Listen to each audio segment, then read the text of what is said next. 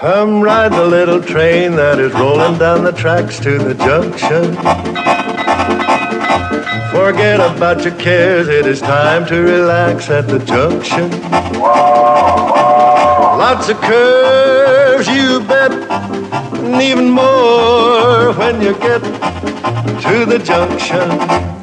Petticoat Junction. There's a little hotel called the Shady Rest at the junction. Petticoat Junction. It is run by Kate. Come and be her guest at the junction. Petticoat Junction. And that's Uncle Joe. He's a moving kind of slow at the junction. Petticoat Junction.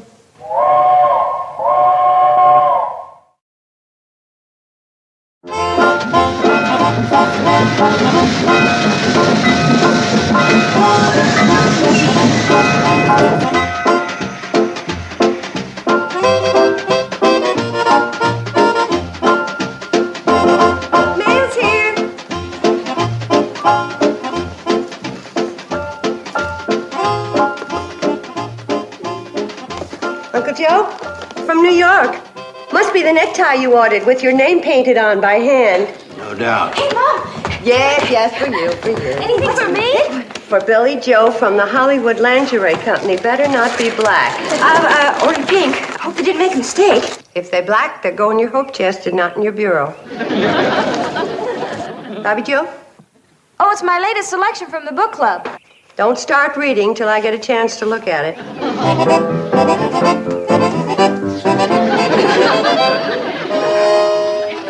My goodness! It's a Hollywood glamour wig. It's guaranteed to bring new excitement into my life, or I get my money back. Do I look like a movie star? Yes. Like an old movie star named Harpo Marx. I bet she was beautiful. Oh, the things those silly kids throw away their good money on. oh! Oh, I hope it didn't break. That's my genuine scat wrinkle magic youth beauty cream. Uncle Joe, aren't you going to take your tie in the closet and see if it lights up the way it's supposed to? In a while.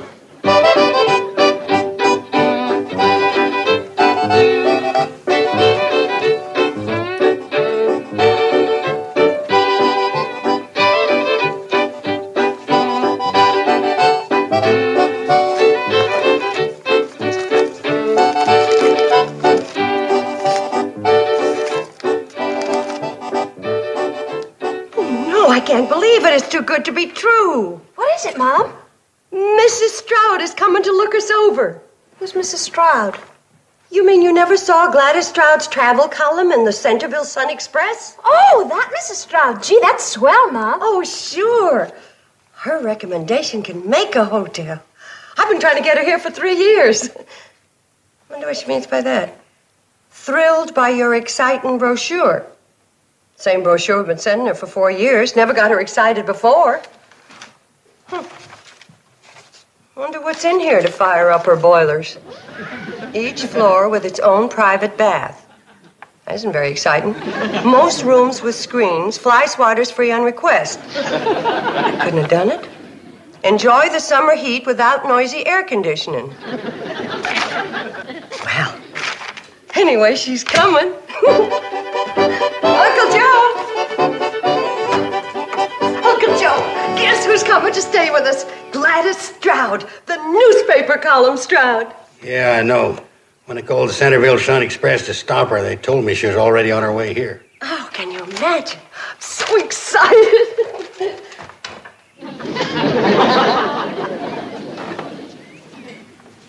you called to stop her? You didn't say that, did you? That's what I said. When did you call the Centerville Sun Express to stop her, and why would you do that? Skip when, get to why. But as soon as I found out about the mistake, I rushed right into Hooterville and called her right then. Is this going to be something I can take standing up, or is it a sitter? Might be a fainter.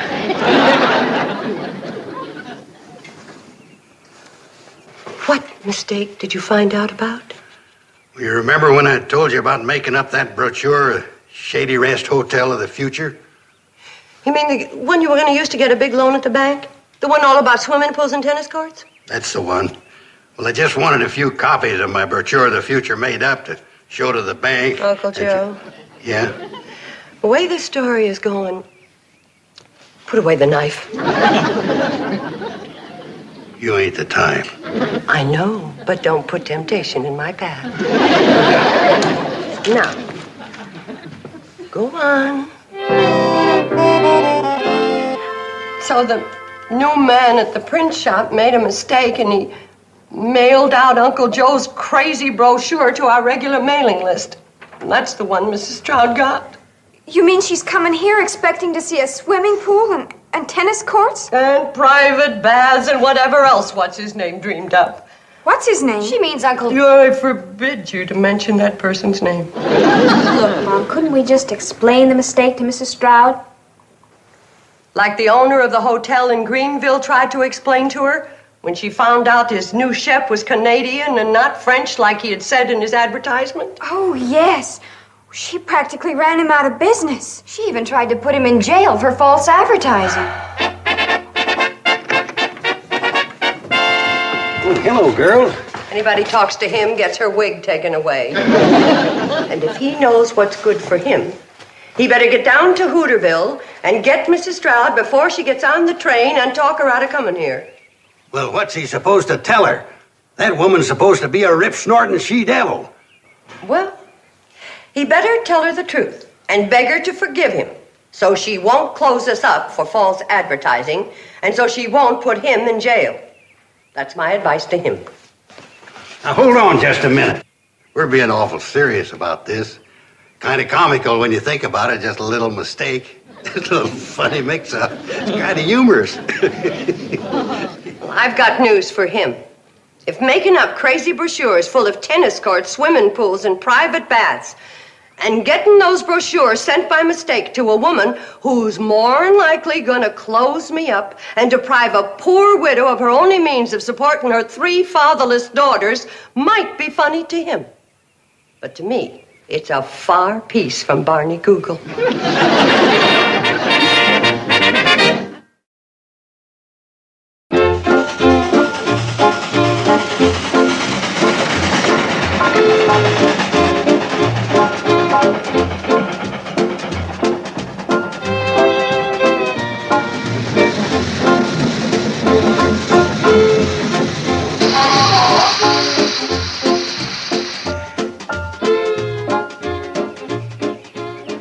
Comes Willie taxicab.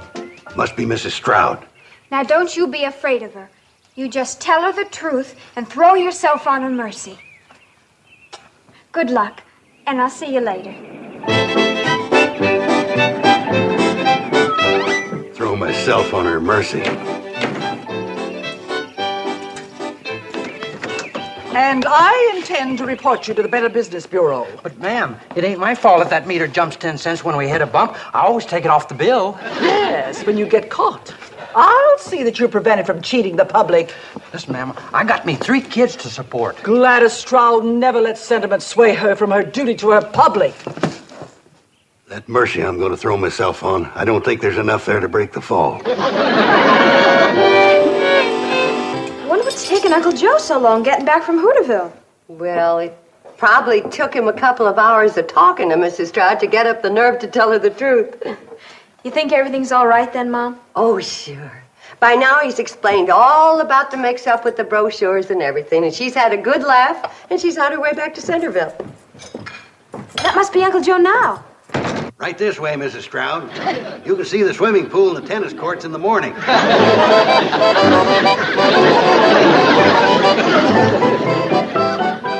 Well, suppose she does have to leave first thing in the morning.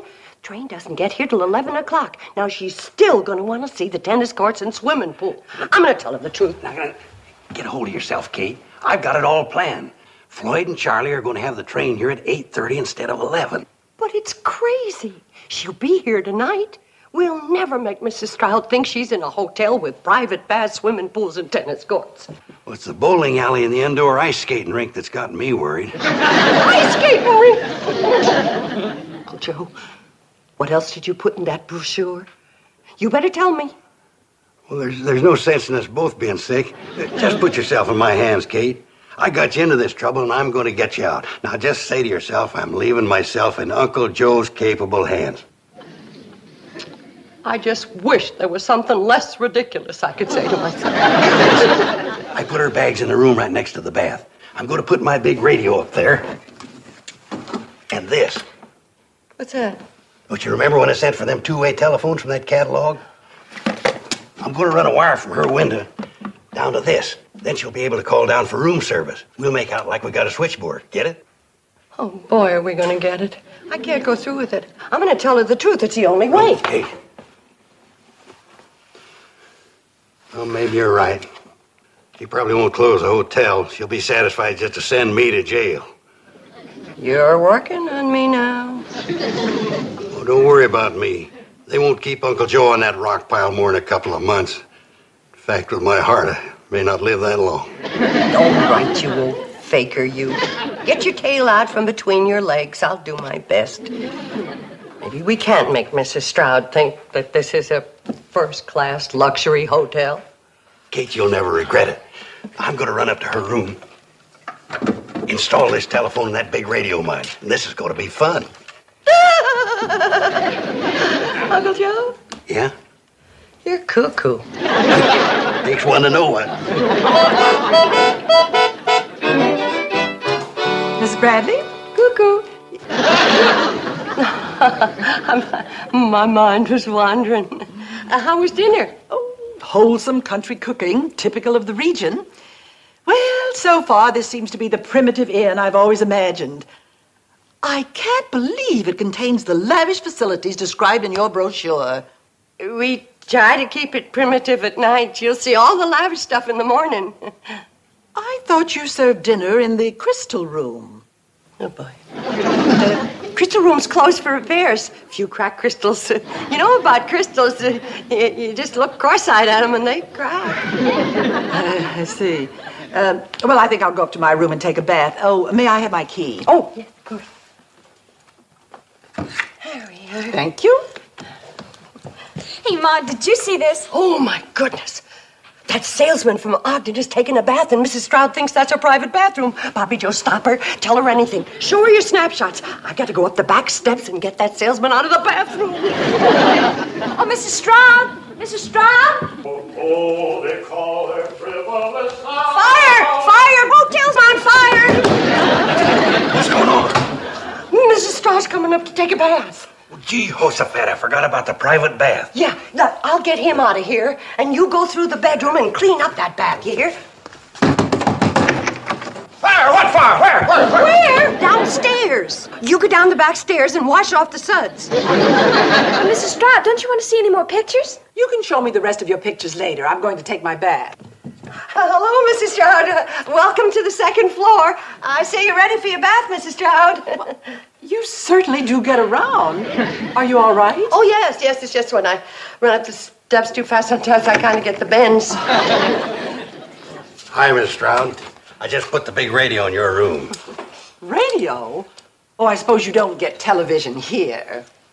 Well, I saw it in Greenville once, and I didn't get it there either. It's a real good radio, though. Once in a while, she'll quit on you. But you just kick her in the side. You usually bring her around. I kicked a lot of good entertainment out of that set. Now, Mrs. Todd, you, you go ahead and take your bath and have a nice soak and a good night's sleep, and we'll see you in the morning. Yes, indeed. Need anything, just pick up the phone. Yeah, would you like a bowl of fruit with some peaches and a few bananas? Yeah, that's a good idea. How about a couple of nuts? Yes, how about that?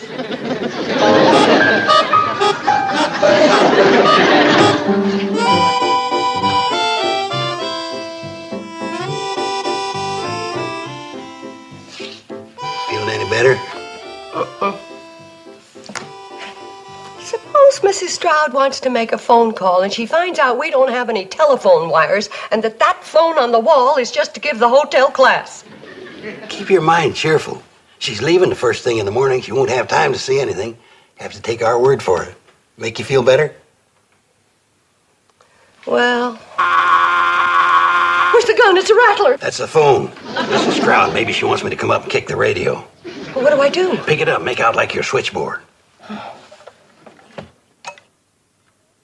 Hello? switchboard speaking.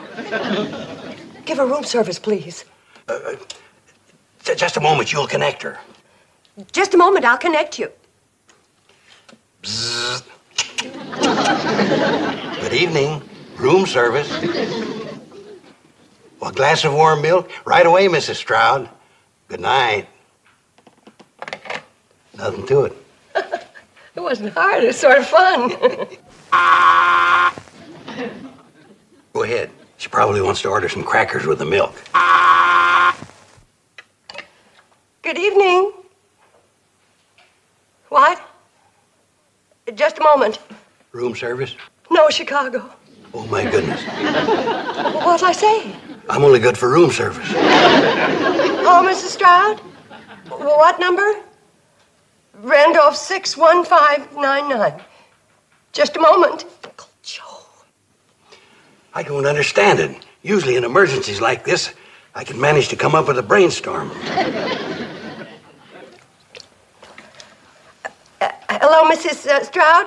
Uh, there was a storm on the other side of the mountains, and some of the telephone lines are down. Well, yes, uh, if they get it fixed tonight, I'll. Oh, in the morning. Yes, fine. Good night. You're going to congratulate me? You mean for being smart enough to have me around? Well, I was great on room service.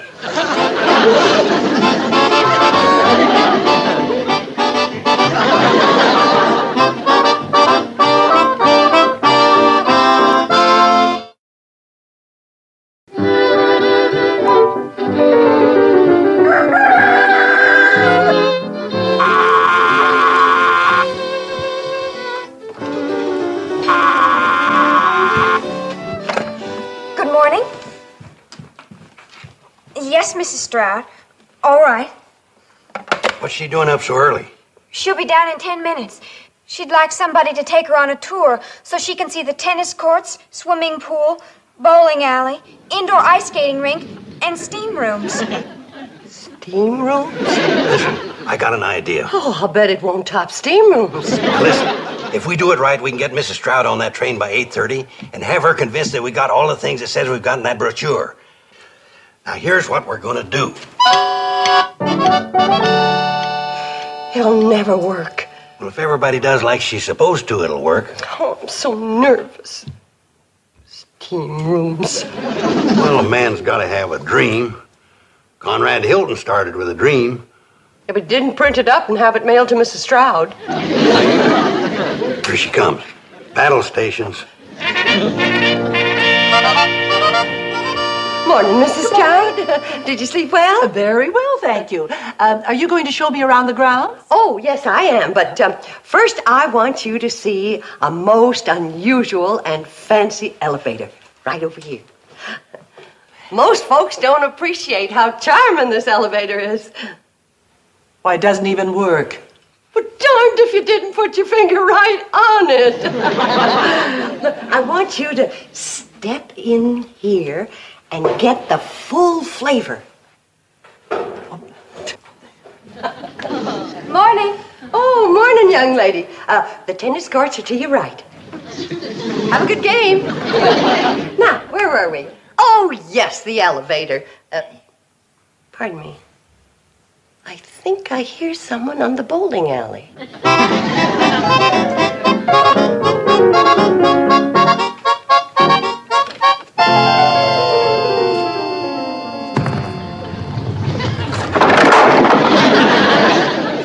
Folks, no bowling until after 10 o'clock. Thank you for your cooperation.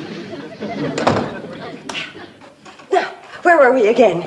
Oh, yes, yes, yes. I wanted to point out certain things about. Pardon me. I wonder if that Billy Stebbins is on the indoor ice skating rink again.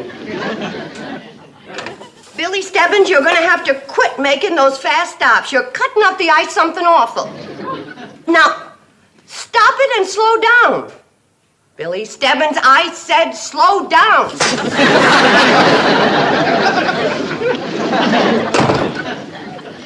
Smart aleck kid. Isn't that skating rink a little close to the bowling alley? Uh, but, yeah, but but it, it works out. You see, it uh, it keeps the bowlers cool, and you automatically lose the game if you knock over a ice skater. I think I'd like to see that skating ring. Me too. We'll see it in a little while, but first I want you to see some of the historical facts in our lobby. Now, Hold still now.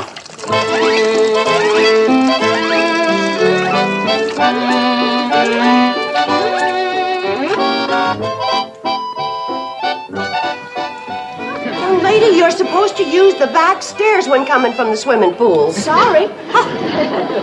Kids. Now, over here, Mrs. Stroud. Oh, good morning, Miss Smith. How was the golf course today? Just lovely. 18 charming holes. But of course, we blondes have more fun than anybody. Isn't she the same young lady who just went out to play tennis with a blonde wig on? That was your cousin. Is anybody using the steam room? No, dear. Have a good steam. I'm sorry about all the interruptions, Mrs. Stroud, but I just remembered. Miss Smith's the one who always leaves the steam door open. Excuse me. There's no steam. Where's the steam? Oh, I guess it cooled off. Close the door, Miss Smith. You're wasting the steam. Uh, Miss Smith, the steam's gone all over the place. Just for that Billy Stebbins off the ice. I've just got to have a look in there.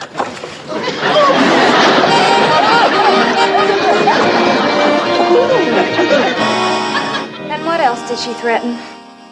I told you about closing us up and putting us in jail. What else is there? Where's Uncle Joe? He went up to romance Mrs. Stroud. Romancer? That'll never work. Well, he's desperate. Says he won't let anyone close up this hotel.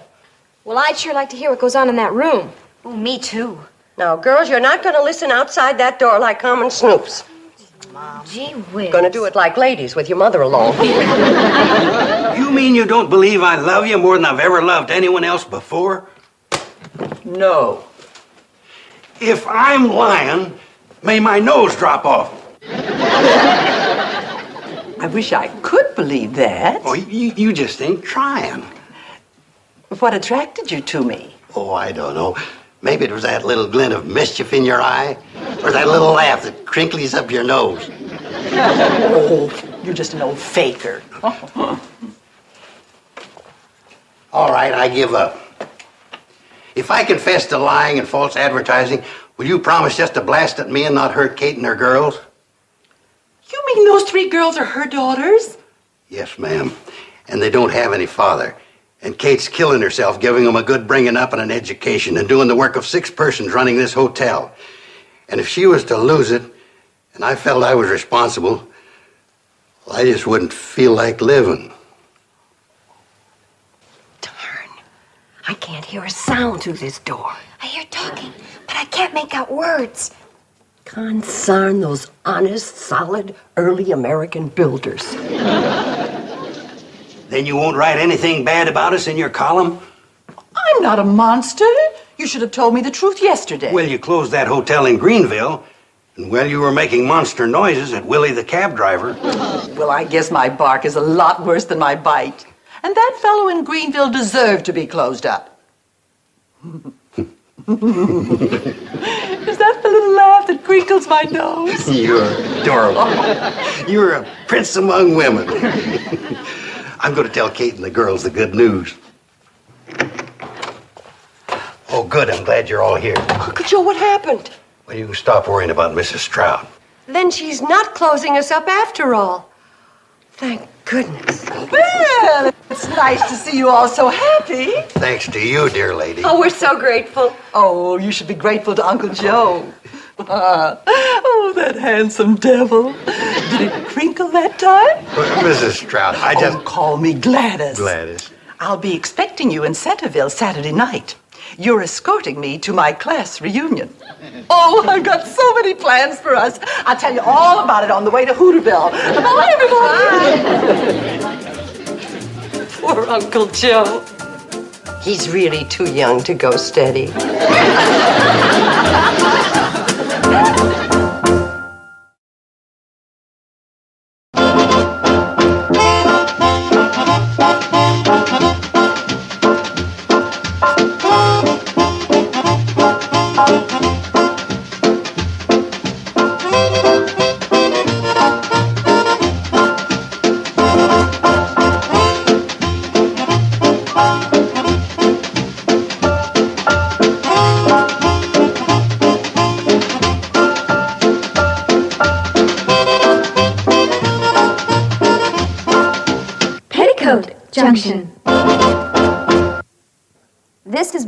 Filmways presentation.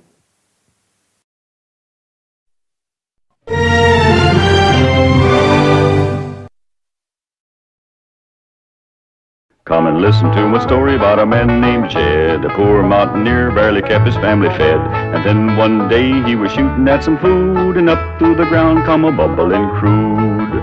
Oil, that is, black gold, Texas tea.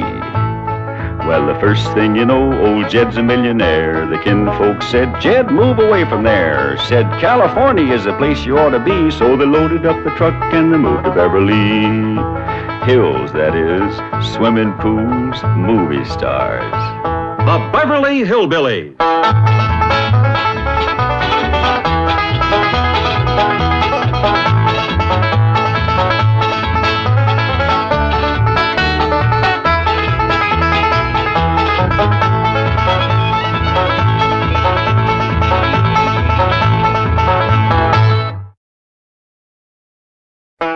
Instead of California where the sun so warmly shines, tonight we find the Clampetts in their cabin in the pines. The weather is so cold, hot coffee freezes in the cup, and when the chickens lay their eggs, they lay 'em standing up. Ooh, Doggy's gonna be a cold one tonight. Somebody better get ready to pry that sun up in the morning to get it started. Yeah, I sure will be glad to get back to that nice warm mansion in Beverly Hills. It ain't no fun sleeping on this cold, hard floor. Mm, that's a fact. You think that's bad? You ought to try sharing a room with that wild daughter of yourn. At least ways you got a bed. That ain't a bed. That's a nest, a roost, and a den and a hutch all in one. Is them animal friends of Ellie's still coming in at night, Granny? Everything that can get through the window. Why don't you shut the window? Because I can't sleep without fresh air. Especially with that third party in bed with us. What third party? Ellie, can you come out here and bring your friend with you? Yeah, Granny. Now, don't you worry about it, Granny. I'll chuck it out, whatever it is. You gotta get your sleep. Did you us, Granny? Your pa wants that polecat. Give it to him. Now, wait a minute. Don't point that thing at me. You don't want to get drove outdoors on a night like this. Well, don't you want him, Pa? I just want to say that Granny'd appreciate it if you'd have this little fella sleep with his own family. All right, I'll go get the others in. Oh, no, no, no. Outdoors with his family. Otherwise, when we go to California, they might not take him back in. And if a skunk ain't welcome with his own family, he just about ain't got nobody to turn to. All right, I'll put him out to window. Uncle Jed, why can't we go back to Beverly Hills right away? Reckon we can tell him the truth, Granny? I reckon he's big enough. Well, you see, we promised your ma we'd stay here and help her till she gets herself married to Mr. Brewster. Well, how long will that take? Well, it hadn't ought to take long. She's got him boarding in your room now where she can get at him. Pearl told me tonight's the night. She's gonna feed him into a stupor, then set him in the parlor and sing to him until he proposes. It's a powerful combination. Pearl cooking and singing. Yeah. If he can get got, Pearl will get him. Ain't that a precious picture? Niagara Falls. Where the honeymooners go. Understand they're having special winter rates there now. I think I'd better turn in. I've got to get up awfully early. No, no, no, morning. no. You sit down and relax. Jethrine and me's got a special surprise for you. It isn't food, is it?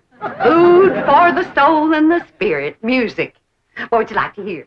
Oh, anything you'd like to sing. Well, I'll just pick out something at random. Let's try this, Jeffrey.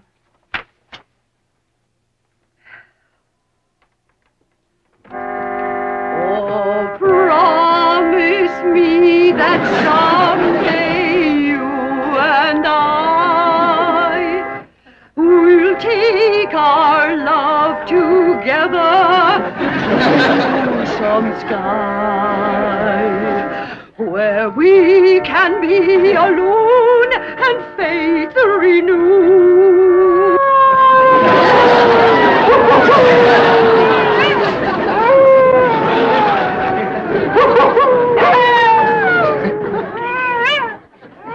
Uncle Jed. Uncle Jed. What's got them wolves so stirred up tonight? all, but something sure is setting them off. Blink. Yes, sleep a wink. Go to the right, Granny. Go to the left, Granny. Them wolves keeping you awake too, Granny? Hey, sure is. Howling goes right through you. It ain't their hollering that's getting me. They're snoring. Look for yourself. Ellie's got two of them under the bed. Granny, we gotta get that girl back to Beverly Hills. She's going right back to being a wild cougar. What y'all all doing out here? Trying to keep warm. Sure is cold in there without you, Granny. Mind if I join you? I reckon so, if you don't mind a little human company for a change. Uncle Jed, we just gotta get ourselves back to Beverly Hills. We will, Jethro, as soon as your ma gets proper hitched to Mr. Brewster.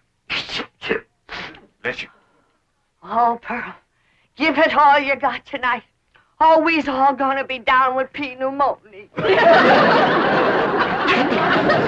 Just a song at twilight when the lights are low and the flickering shadows softly come and Home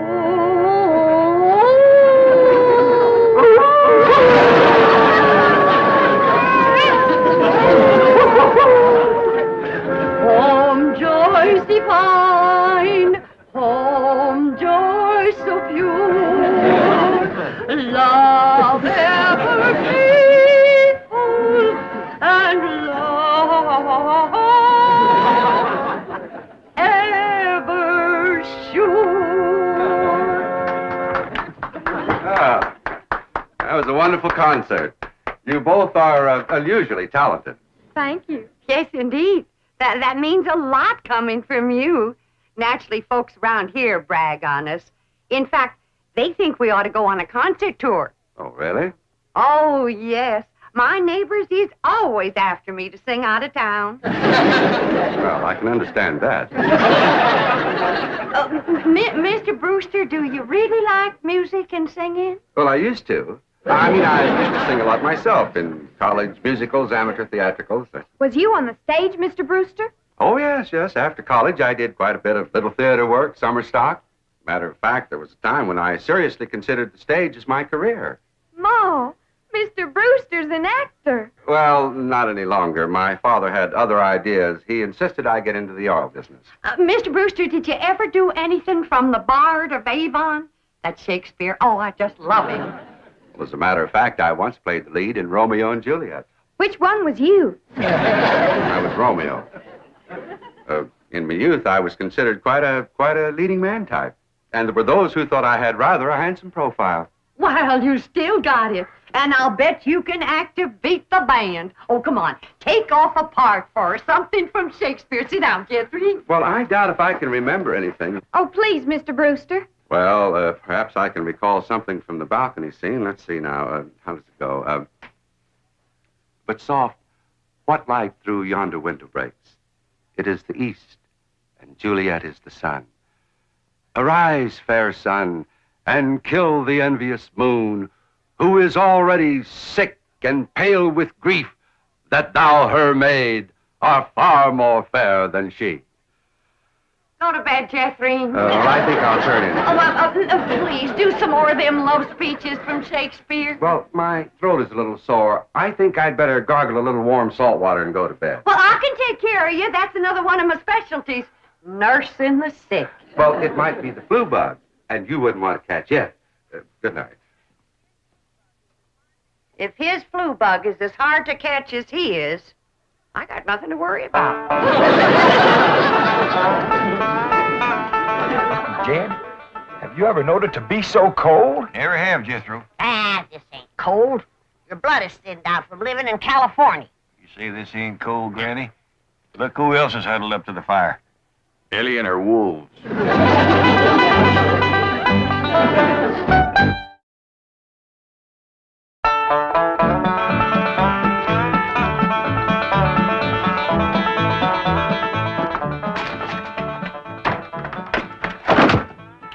cold this morning, Granny.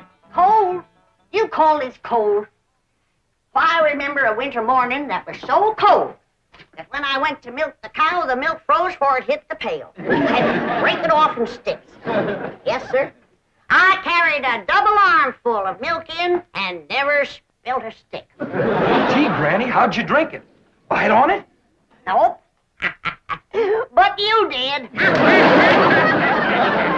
You're in a right good mood this morning. Jed, I got a feeling in my bones that Pearl got him last night.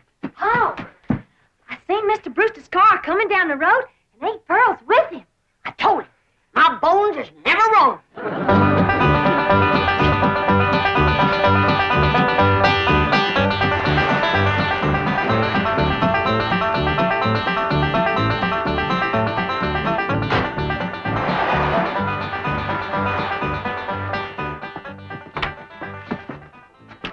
When's the wedding, Hi, Pearl? Ma. Be married in church? Yeah, let's see your ring, Pearl. You want me to carry Mr. Brewster over the threshold for you, Ma? You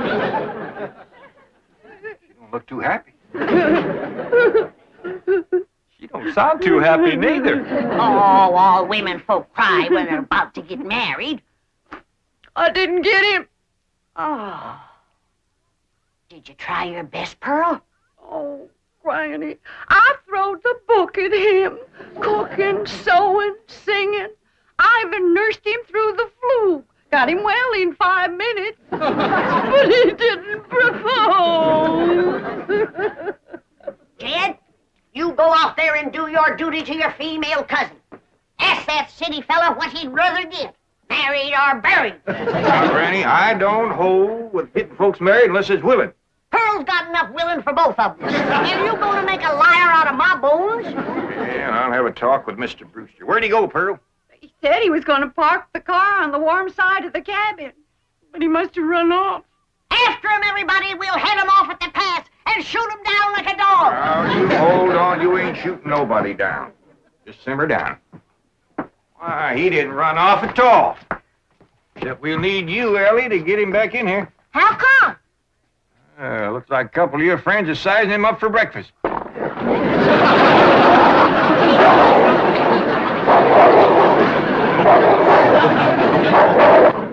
Well, in all sincerity, Mr. Clampett, your your cousin Pearl is a very remarkable woman. It's just that, well, I I don't want to get married. Oh, I understand that, Mr. Brewster, and I thank you for speaking the truth like a man. But my cousin Pearl has got herself a problem. Oh, what's that? Well, uh, ain't no secrets in the hills. Everybody's dog knows that you've been boarding with her over at her place, and they all know she's had her cap set for you. Oh, I ain't blaming you, Mr. Brewster. Jed? Did he say yes? Can we come out now? Well, not yet a while, Granny. Well, if you're too chicken to shoot him, Ellie's got her wolves standing by. Mr. Brewster, in order to save my cousin Pearl from shame, I'm going to ask you to do me a big favor. Anything I can do. I want you to propose to her in front of somebody. But- And let her turn you down, of course. Oh, oh, I see. Of course, yes, that'll save face. Uh, uh, well, uh, Pearl will know that she's supposed to turn me down. Oh, sure. We'll have an understanding with Pearl. Now, the one I think you ought to propose in front of is Elverna Bradshaw. You know, Mr. Clampett, this idea of yours is quite inspired. Oh, just a notion. You see, Elverna is the biggest gossip in the hills. No, really, it's brilliant. It combines drama, pathos, suspense. It has a happy ending. Great third act curtain. It's it's it's real theater. Of course, you'll have to be convincing, so Elverna will... Convincing. Why, I'll give a performance that the people of these hills will remember as long as they live. Well, just so that... Uh... When Pearl Bodine turns down my impassioned proposal of marriage, there won't be a dry eye in the house. Elverna, don't cry easy. Oh, well, now, surely you're not going to waste this dramatic scene before just one person. Well, I reckon Elverna's daughter... I've got it. I've got it. The movie house where Pearl plays the piano. You want to propose there? Well, it's perfect. Everybody in town will see it. I want to kind of shame you to be turned down in front of all them people? Well, it's, it's just a performance. I've learned one thing in the theater. An actor always gives a better performance in front of a full house. Well, doggies. That sure is nice of you. it's my it's my pleasure, Mr. Clancy. Uh, Mrs. Bodine, Fanny, uh, come on in. Come on in, everybody. How about it? How about it, Uncle Jed? How about it, everybody? I reckon we better let Mr. Brewster tell you what's going to happen. Well, Tonight, at the movie house, Mrs. Bodine, while the whole town looks on, I'm going to ask you to marry me.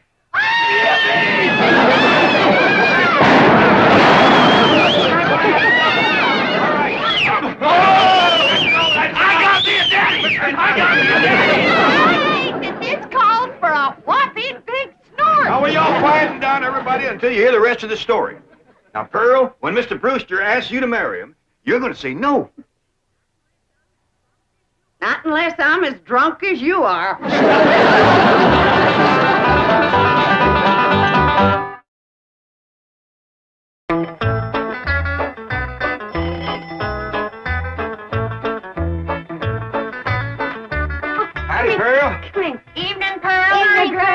Granny. Jethro went on ahead down to the theater to get a fire going in the stove. Where's Jethro, Aunt Pearl? Why, she's in her room getting dressed. Go on in and see her. Granny, what happened to your mink coat? This is it. Tonight's kind of special, so I'm wearing the pretty side out. You sure got your pretty side out tonight, Pearl? Oh, I tell you, Jed, I'm as nervous as if I was going to get a real honest-to-goodness proposal. And it would be real if your cousin Jed would do his duty and hold a shotgun on that fella, Brewster. Now, ladies, let's settle for what we got. This way, Pearl can come to California without nobody saying she left town in disgrace. Good evening. Good evening. Ain't you dressed up? That boiled shirt makes your face look kind of dark. Well, as a matter of fact, I'm wearing a little theatrical makeup. Mrs. Bodine, uh, how would you like some pancake on your face? How'd you like some sweet potato pie on yours? Fetch me some hot possum grease, Pearl, and I'll fling it on. Now, ladies, you misunderstood me. Pancake is a type of makeup we use in the theater. An actor, like myself, would feel positively undressed without it. I thought you was oil man. Well, that's my business. But at heart, I shall always be an actor. Say now, speaking of acting, you two got it figured out what you want to say? Oh, yeah, we rehearsed 12 times. Um, Mr. Brewster will be sitting on the front row, and when the picture's over, he'll jump up Uh, and he... excuse me. Uh, I've been thinking about that. I believe it would be more effective if I made an entrance. Entrance? Yes, I'll come down the aisle. Oh, oh, all right. And then Mr. Brewster's going to say, Mrs. Bodine, don't go to California with your cousin Jed. Stay here and be my wife. Uh, excuse, I, I, I've been thinking about that too. Uh, after a big entrance down the aisle, that's going to seem like a pretty flat opening speech. Well, you just say what you want to say. All I got to say is, no, I won't marry you. That's Homer Winch, I'm going to hit him right in the head. Good Evening, Pearl. Elverna Bradshaw, what, what are you doing here? Well, you and me being such close friends, I just thought I'd offer to play Piany for you at the theater tonight. Why? Surely you're not going to show up and have folks whispering behind your back all during the picture. What in the world would they be whispering about? Pearl, I'm your best friend. You don't have to pretend with me. The whole town knows how you've been flinging yourself at that brother of yours. For your information, Elverna Bradshaw, Mr. Brewster proposed to me 12 times today, and 12 times I turned him down. Is that why he give you this here mink coat? Cause you turned him down? this here mink coat was given to me by my niece, Elly May Clampett. Oh, Pearl, I keep telling you, you don't have to pretend with me. I'm your best friend. When Elverna Bradshaw is your best friend, you're up to your eyeballs in enemies. Mr. Brewster, if you was to go in there now and propose in front of Elverna, you could save yourself a trip to the theater. The news would get around a heap quicker. You don't understand, Mr. Clampett. An actor needs an audience. Elverna, if you don't mind, I'd like you to get out of my coat and out of my house. I'm going to be late for the theater. Pearl, take your best friend's advice and sneak out of town quietly. You can depend on me to smooth everything over. Thanks for nothing.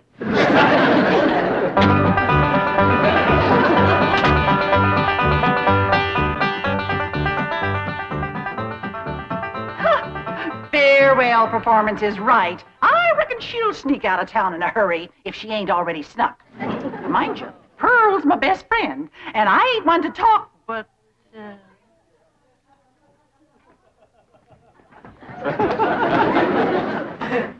Good evening, lady.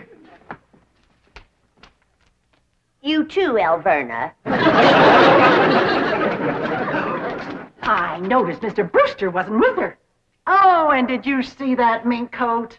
Well, I wouldn't trade this little band of gold and a home-loving husband for a dozen mink coats. Would I, Luke? Luke? Luke Bradshaw! that little sneak, he got away again. that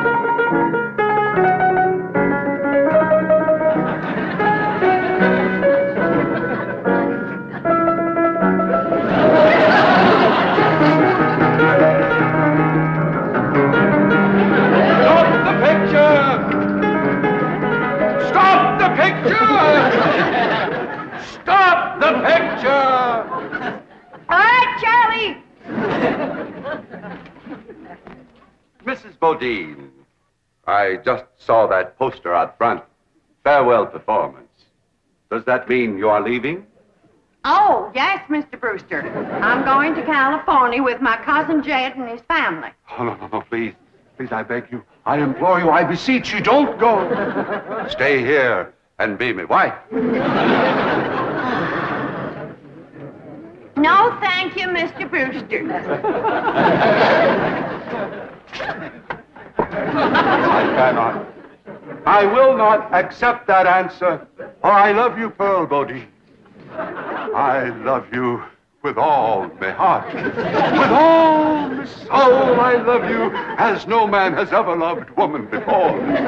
He's better than Francis X. Bushman. Be mine. Pearl, be mine. Come back here, Mr. Brewster. no, Mr. Brewster, my answer is no.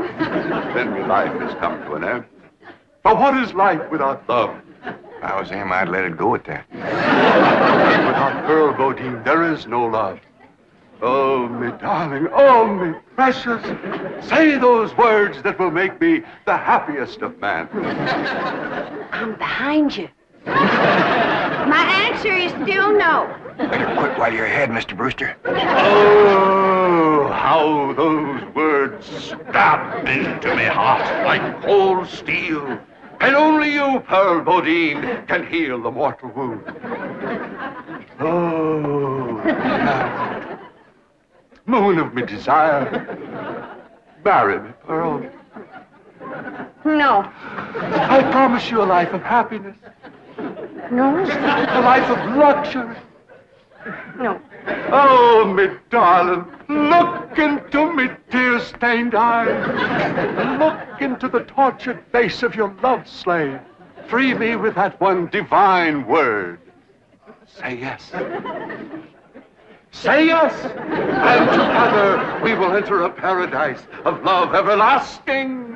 Yes, yes, yes, I'll marry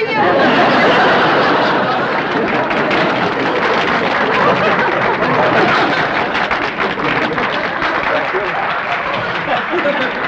Thank you very much. Uh, did you say yes? Yes! hadn't said yes, I was ready myself.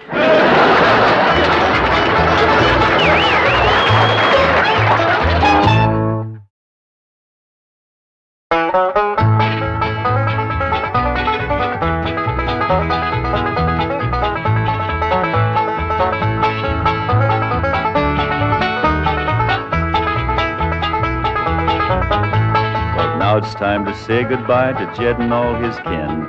They would like to thank you folks for kindly dropping in. You're all invited back next week to this locality to have a heaping helping of their hospitality. Hillbilly, that is. Set a spell. Take your shoes off. You all come back now. Here? This has been a Filmways presentation.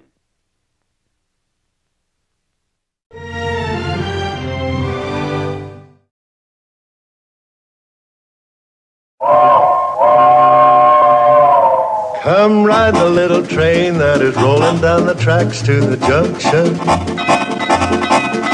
Forget about your cares, it is time to relax at the junction. Lots of curves, you bet, and even more when you get to the junction. Petticoat Junction. There's a little hotel called the Shady Rest at the junction. Petticoat Junction. It is run by Kate. Come and be her guest at the junction. Petticoat Junction. And that's Uncle Joe. He's a moving kind of slow at the junction. Petticoat Junction.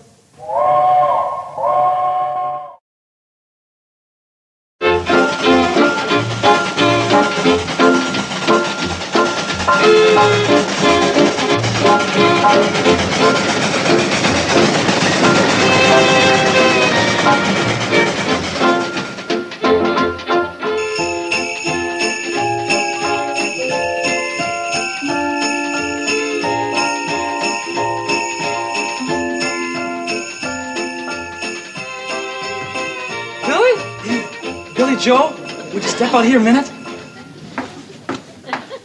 What do you want, Herby? Look up there, Billie. It's mistletoe. Billie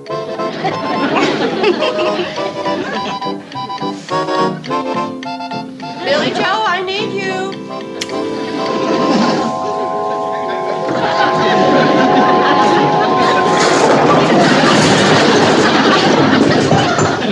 All right, Herby, what'd you do this time?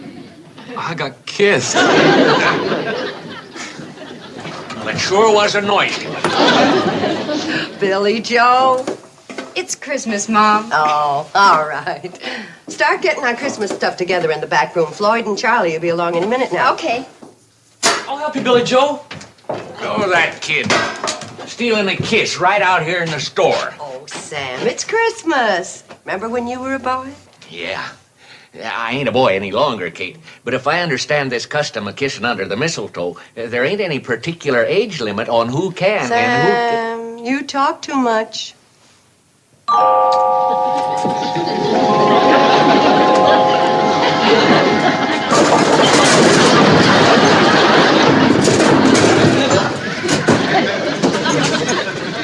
What happened, Mr. Drucker? I got kissed. All right, kids, all three of you. We got a lot of work to do before dark. Boy, I'll say we have. We got Christmas baskets to pack and presents to wrap and carols to rehearse. And a tree to cut and lights to string. And a sleigh and reindeer to touch up. And the whole Hooterville cannonball to decorate.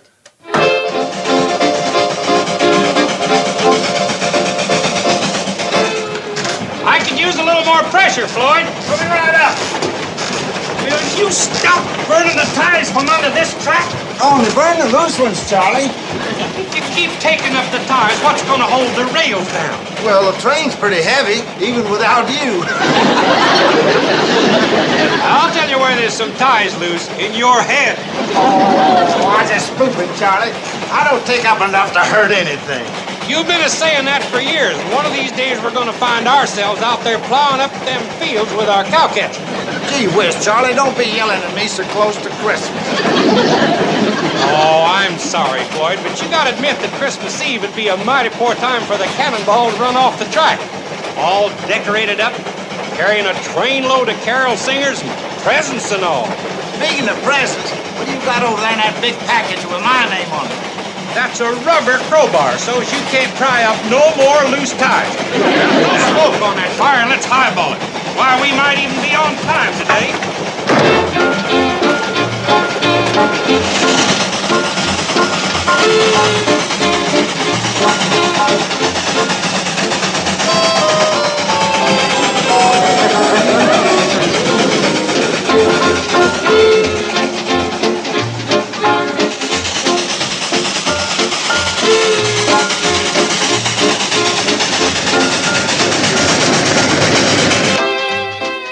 Well, Mr. Curtis, what about it? An inspection trip at Christmas time? I'd be glad to work on Christmas, New Year's, any day, if it's for the good of the C&FW Railroad. Oh, now look, Bedloe, I realize you're trying to regain your position as vice president, but nobody expects you to work at Christmas. Well, that's just it. They won't be expecting me. Well, who is they? Do you know of some particular violation of C&FW rules? Yes, I do, and I understand it goes on every year at this time. Well, who is it? What is it? Where? Oh, Mr. Curtis, uh, I think in all fairness, I shouldn't name names or places until I make an on-the-spot personal inspection. Well, speaking as president of the railroad, I've got to admire your devotion to the company. But speaking personally, I think you're a nut. Thank you, sir. Oh, that report will be on your desk the day after Christmas. Would you please come in, Miss Evans? Merry Christmas, Miss Evans. Mr. Curtis, did I actually see a smile and, and hear a Merry Christmas from old Scrooge? I mean, Mr. Bedloe? You did. And heaven help Bob Cratchit and Tiny Tim, whoever they may be. Hi, Sam. Hi, Sam. hey, fellas, where's the rest of the train?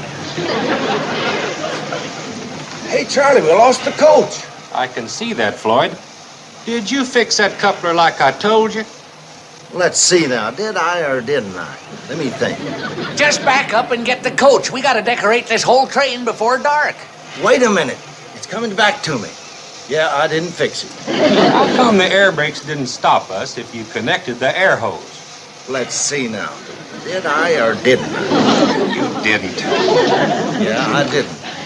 Well, you kept hurrying me, Charlie. Fellas, please. Back this thing up and get the coach. Calm down, Sam. We're backing.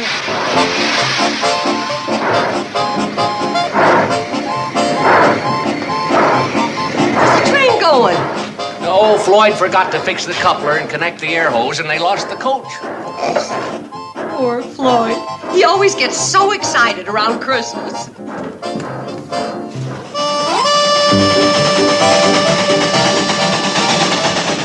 her down, Charlie. We're almost to it. I can see it too, Smokehead.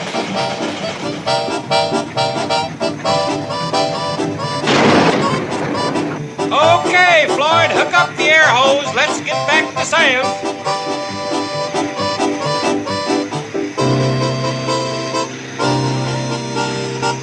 Hurry up, Floyd!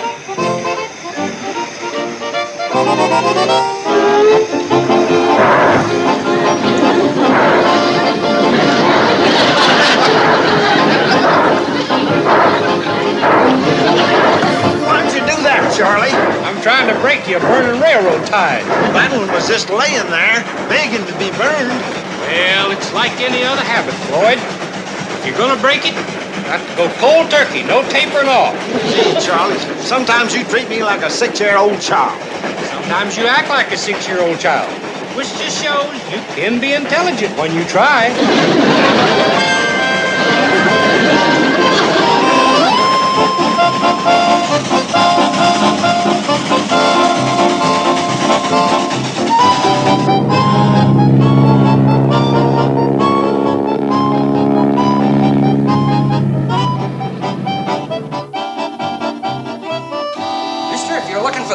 cannonball, you missed it. It was due through here two or three hours ago. Don't tell me it runs on schedule now. Well, it does today. You see, the boys have got to get the train out to the Shady Rest so Kate and the girls can decorate it tonight for. Well, I'll be doggone.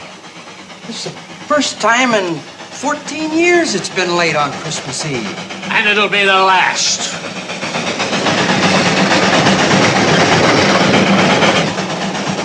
Charlie, that looks like Mr. Bedloe back at the station. What would he be doing here Christmas Eve? Maybe he brought us a present. Floyd, you are really in bad shape today.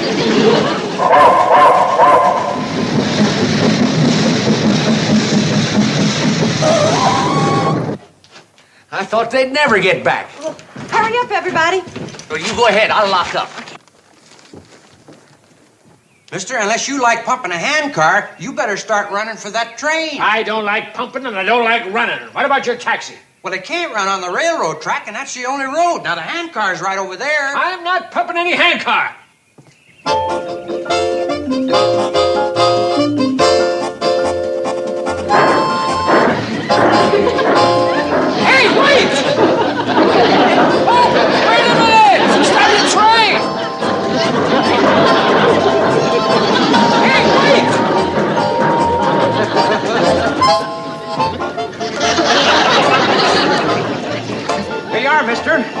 Have a nice trip. And a Merry Christmas. Ah, humbug!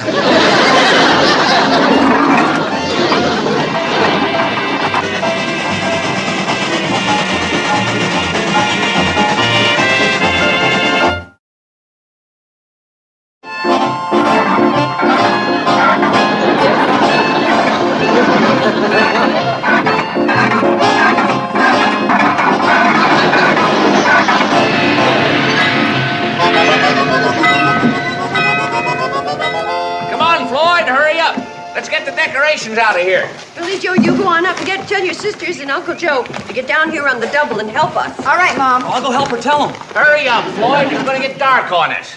Now, Sam, don't you start yelling at me like Charlie's been doing. It makes me nervous and I forget things. All right, Floyd, open the door. Charlie yelling at me made me forget to fix the coupling, made me forget to connect the air hose, Floyd, nobody's yelling. made me forget something else, too. Now I forget what it is. Doggone it. Now remember. Mm. Sounds like a cow's in there. Yeah, I was supposed to leave it off at Lon Hawker's place. Christmas present for his wife.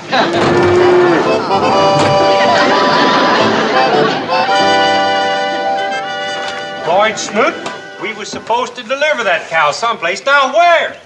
You yelled at me again, Charlie. Now I forget. Lon Hawker's place. That's right, Floyd. See? To Ludi with love from Lon. Here's wishing you a white Christmas. White Christmas. Milk. Get it? Floyd, you are the dumbest ash cat that ever shook a grate. I need an ash cat now, Charlie. I'm a baggage wrestler. Well, wrestle that cow out of the way and give us the decorations. Charlie, hadn't we ought to take this cow back over to Lon's place? We ain't got time now. Charlie, please don't yell at him. You'll forget where he put the decorations. Uh, Floyd, would you please start handing things out to us? You bet. But Charlie and Sam will have to help you with this cow. Cow, Floyd!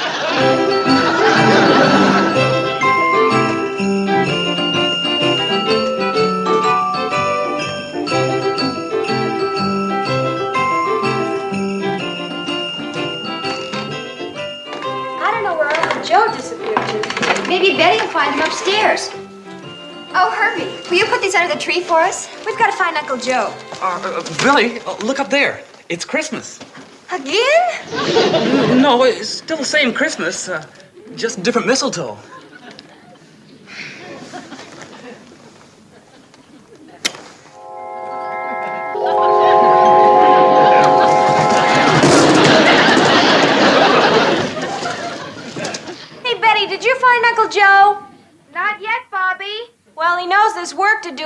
The bed.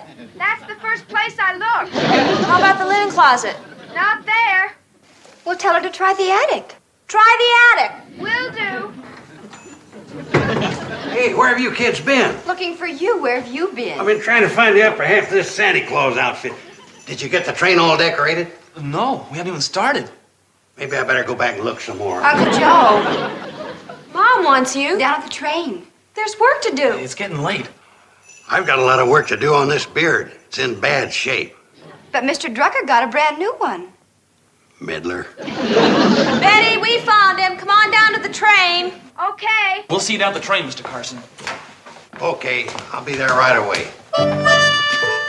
Where did Floyd put the light bulbs? No telling, Kate. You'll find him around back of the train. Oh, thanks, Charlie. Floyd smoked. We got a train to decorate and Christmas carols to rehearse, and here you sit milking a cow. She needed milking, Kate. You wouldn't want her bawling right in the middle of silent night. We're not going to take her along on the train when we go caroling. I don't see any other way to get her over to Lon Hawker's place in time for Christmas. Well, all right. Finish up as quick as you can. Hey, Sam, here you got me a new Santa Claus beard. Yeah. What do you mean you? I'm Santa Claus this year. You was Santa Claus last year. I was not. Floyd was. Well, what about the year before? That was Pixley Fats. See? It's my turn this year. Well, you can forget it. I got the suit. Not the top half, you ain't. So you're the one that hid that. I didn't hide it. I took it home, had my landlady let it out to fit me. Now, well, hand it over. I gotta get dressed. Where's my beard, Sam? I gave it to Kate. Kate! Kate! Oh, please, fellas, don't make a big thing about who plays Santa Claus. We haven't got time. What is it? Kate, who's gonna be Santa Claus, me or this greasy hoghead? Uncle Joe, don't call Charlie that. Oh, that's just railroad talk for engineer. I don't care. I don't like it. All right, who's gonna be Santa Claus, me or this greasy pig head? Joe. Kate, if you let me be Santa Claus, I'll promise you a big fat gobbler for Christmas dinner. You're always here for Christmas dinner. Anybody care for some fresh milk? Uncle Joe, take this up and put it in the icebox. We'll decide about Santa Claus later. You can decide all you want, but I'm it. You got the padding for it, but it's on the wrong side. Those boys, let's get busy stringing up these lights on the train, huh? Where are the bulbs, Floyd? They're in the baggage car. See, when you don't yell at me, I can remember.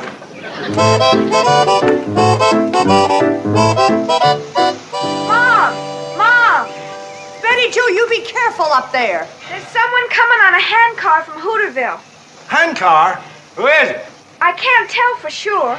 It looks like Mr. Bedloe. Kate, Kate, look who's popping up the track to spend Christmas with us. My old buddy Homer Bedloe. You see, Charlie, that was Mr. Bedloe we passed up at the Hooterville station. Oh, fine. With that and pumping 20 miles on a handcar, he's going to be in a jolly mood. Just leave him to me. I don't need no help to handle Bedloe. Hey! What do you think you're doing to the property of the CNFW Railroad? We're decorating it for the annual Christmas carol sing, Mr. Bedloe. We go all the way across the valley singing and distributing gifts and baskets of food. It's a tradition, Mr. Bedloe. It was a tradition. Now start taking down those lights. Why? Violation of the CNFW rules and regulations. Well, how's old Homer Bedloe? Still looking for a way to get even with us for outsmarting you? No, not anymore. Ah, that's the Christmas spirit. Put her there. Christmas present for me? Homer, you shouldn't have done it. That's a legal writ empowering me to seize and hold this train. Homer, you, you shouldn't have done it. Hey! Venite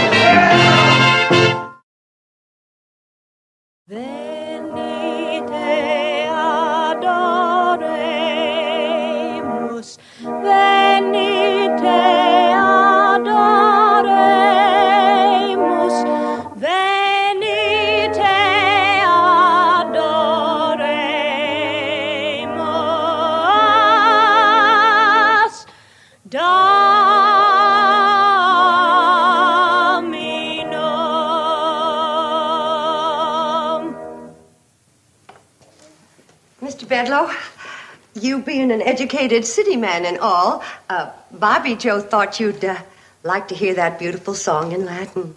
Very nice. Lovely voice, that girl. She might be able to support you after the hotel's closed down, now that the train's gone.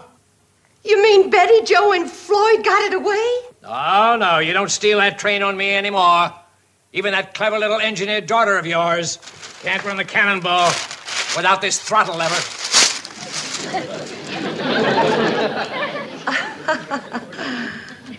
Mr. Bedloe, you certainly are a brilliant man. Billie Jo, more fruitcake for Mr. Bedloe. Uncle Joe, more eggnog. Herby, hurry with Mr. Bedloe's shoes. Charlie, give Mr. Bedloe a cigar. Bobbie Jo, let's sing another Christmas carol for Mr. Bedloe, this time in English.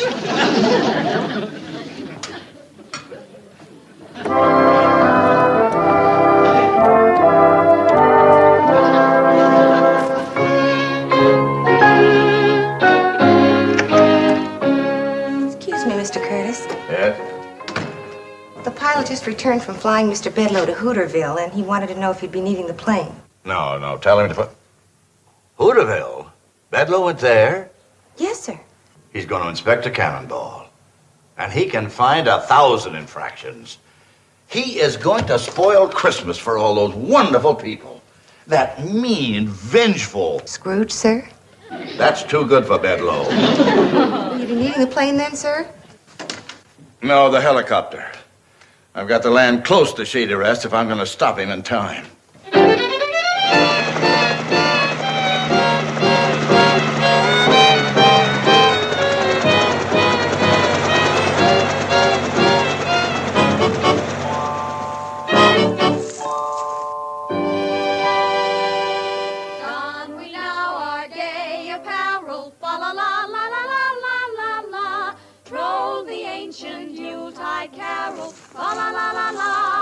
La la la la la. Very nice. Where's the eggnog? Where's that eggnog? More eggnog, Carson. More eggnog, Carson. Talks to me like I'm a section hand on his railroad. Oh, boy. That's all we need now. Nutty Norman, the hobo. Thank you, Mr. Carson. You remember me, Norman Curtis? Yeah, that's the way I remember you with your hand out. Hungry as usual, I suppose. Well, I could use some food, but first, do you have a Homer Bedloe here of the CNFW Railroad? Yeah. If you're looking for him to give you a job, you're out of luck.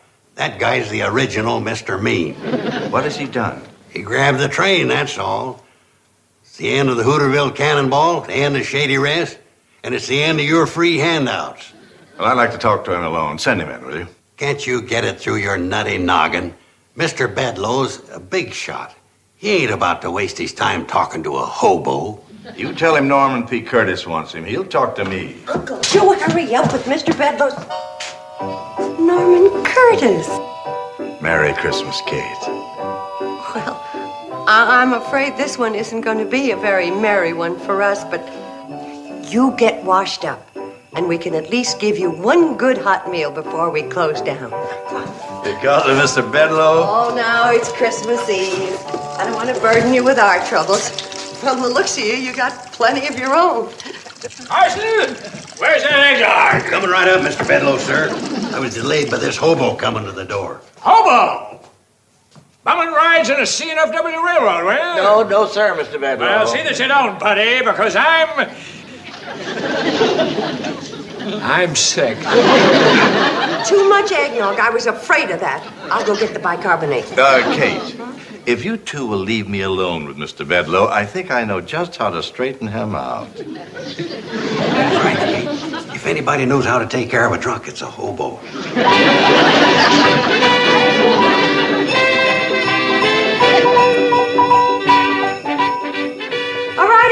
Right, we can get started now. Here comes Santa Claus. Thank goodness that argument between Charlie and Joe got settled with no bloodshed. Yeah, that's the best Santa Claus ever.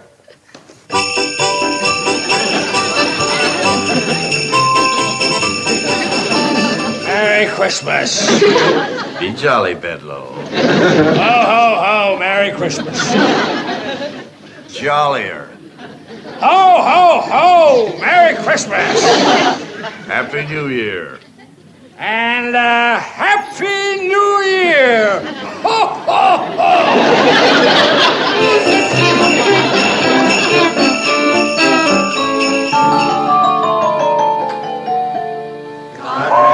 Merry gentlemen, let nothing you dismay. Remember Christ our Savior was born on Christmas Day to save us all from Satan's power when we were gone astray.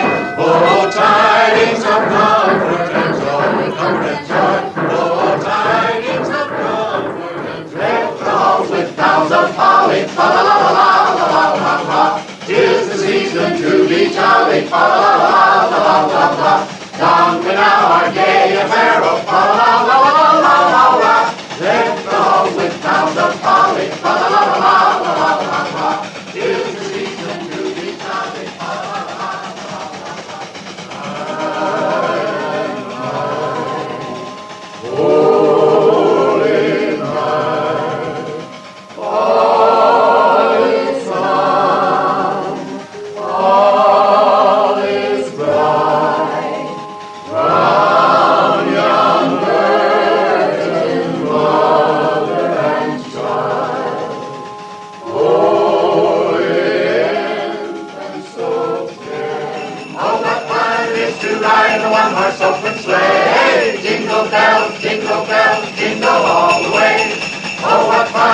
Fun to ride in a one-horse open sleigh. Merry Christmas, everybody. Merry Christmas. Merry Christmas.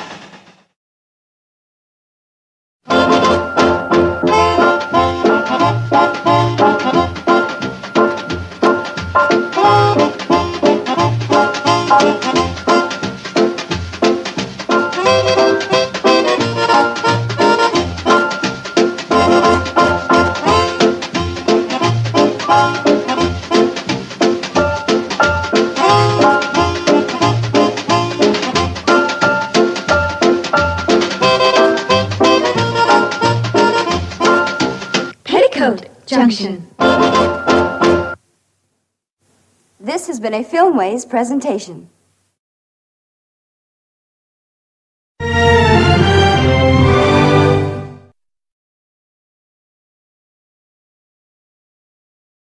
Come and listen to my story about a man named Jed. A poor mountaineer barely kept his family fed. And then one day he was shooting at some food, and up through the ground come a bubbling crude. Oil, that is, black gold, Texas tea.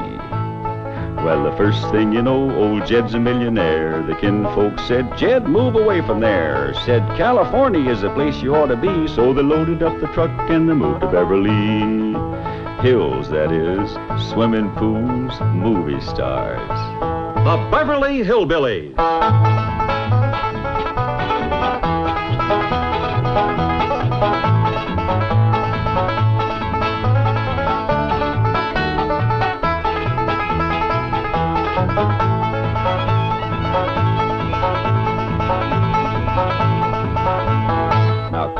Along and visit with the Clampett family as they take you to their mansion in the hills of Beverly. And when they do, you'll run into a friend of theirs you've met, that good old friend with filter blend, Winston Cigarette. Winston tastes good like a cigarette should.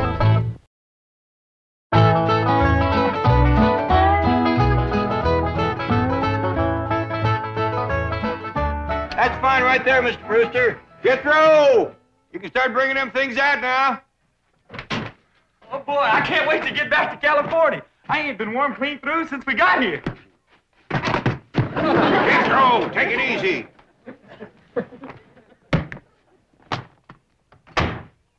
We've been sleeping on a hard floor. It'd be awful nice to get in a warm bed for a change. I'll take it, Jethro. Jethro, I said take it easy. Granny ready? Yeah, she's just putting on her gaiters. I'll bring it right out. Well, I hope you'll come visit us in California. We'd be mighty glad to see you, especially Pearl. Her and Jethrine's coming to stay with us. Big overgrown.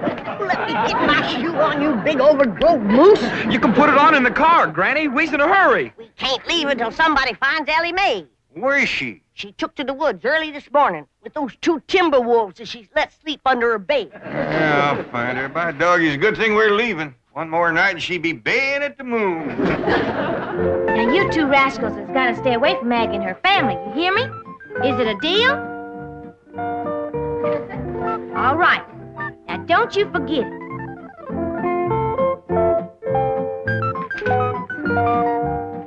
You seen 'em, Maggie. Give their word. What's more, Frida's gonna keep an eagle eye on 'em. And if they goes to pestering you, she's gonna snatch 'em both. Ain't you, Frida? I wish you could come to Beverly Hills and live with us. But I reckon it'd be too long a trip for you and your young'un. But I'll come back and see you in the spring. Elly May, Over here, Pa. you got them wolves with you? Oh, they won't pester you none. And that no biting promise goes for my pa, too. Hello there, Maggie. Elly, honey. Mr. Brewster's waiting, and we got to pick up Pearl and Jethrine and drive clean to the airport. St. Pearl and Mr. Brewster are getting married? Well, no, not yet. Uh, maybe never. But Pearl's satisfied. Everybody in town seen him propose to her. And now she can leave town with her chin up and her head thrown back, proud and happy. I'll bet you cousin Jethrine ain't happy. She says she ain't going to California and leave her sweetie Jazbo Pew. She's powerful in love with that little feller. Yeah, I reckon Jethrine will do pretty much what her ma tells her to. That Pearl's a mighty strong-willed woman.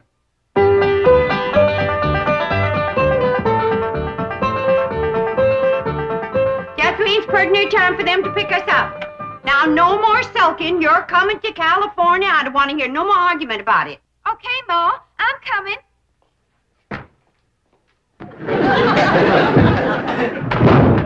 What in the world have you got there? It's a trunk, Ma. Well, I can see that, but what you got in it? Well, I got some clothes and some shoes and, and some food and some water. I forgot the water. Water, why'd you...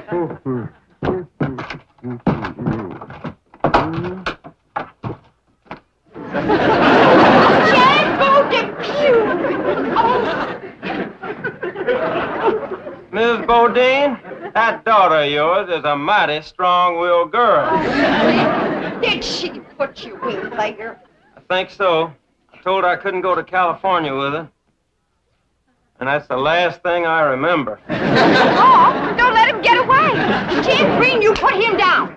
This minute. What's the matter with you? Why, that poor boy could suffocate in that trunk without no air.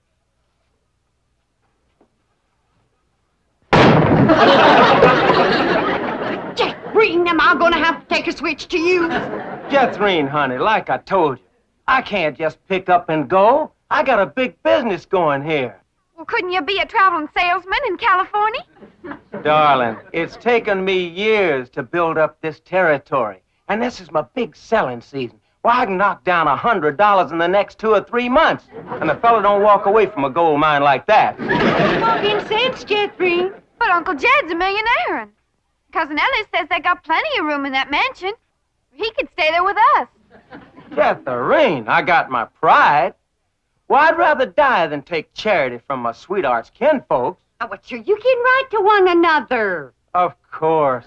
And I'll be here when you get back. Oh, there they are. Now, Jethrine, you get ready to leave.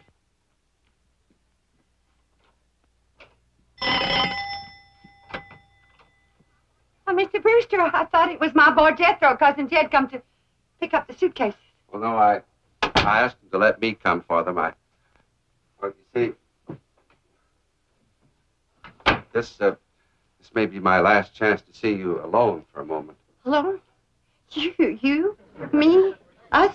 Why would you? Well, first, I want to thank you for publicly breaking our engagement after I lost my head, as I did last night. Oh, shucks. I, I didn't mean it when I said yes. It was just nerves and the excitement of the Well, moment. you were very sweet about yeah, it. well, well, but now that my head is clear and I'm thinking straight, well, I realize I couldn't get married right now. Some man would lose a wonderful wife. My goodness, I got I got family obligations, you know. Why, cousin Jed's been after me three or four months to come to Beverly Hills and get that wild daughter of his proper dressed and acting like a lady. I'm going to miss you, Mrs. Bodine. Yes, well, he's in desperate need of me. I don't know what come over me last evening, but now that I had a good night's sleep and my morning coffee, got my wits together, well, I could just laugh at myself for, for even considering marriage. Mrs. Bodine, I, I just want to say that I think you're a splendid woman, and I'm sure our paths will cross again. And, well, I'd consider it a, a great honor if you'd allow me to kiss you goodbye. Kiss me, me. Well, I hardly think there'd be anything wrong with that. Is real, Miss Brewster? Is that a new hat, Aunt Pearl? oh, wait. Elly May, look, uh, Jethrine's in there saying goodbye to her sweetie, Jasbo Depew. So why don't you go in and say goodbye to him, too? Huh? All right. I ain't never met him. Jethrine, you're just going to have to get it through your head. I cannot go to California, and that's that. Howdy. Well, hi, Cousin Elly. This here's my sweetie, Jasbo Depew. Howdy, Jasbo. And a great big howdy to you. This girl is the cousin you've been telling me about? Yeah, Jazbo. She's the one we'll be staying with in California. Well, poke me another air hole, baby, and let's go.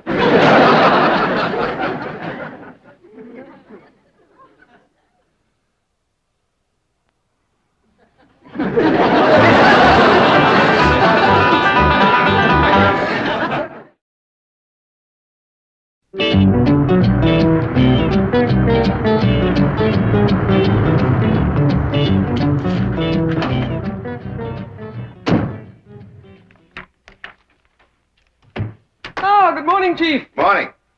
Well, I just had a call from Brewster in Tulsa. The Clampetts are on their way home. Jethro? Oh, I mean the Clampetts. Yes, and they're bringing a cousin and her daughter along. That'll be six of them. I think I'd better order an extra limousine. Chief, if I may suggest, the personal touch is very important to these people, and they are the bank's largest depositors. I would be happy to volunteer my car and myself. I can take at least half the load. Jethro. And the luggage. See, Chief, I have bucket seats, and Jethro is quite a bucketful.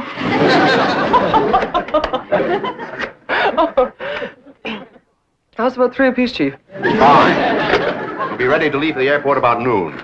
Entendu, mon capitaine.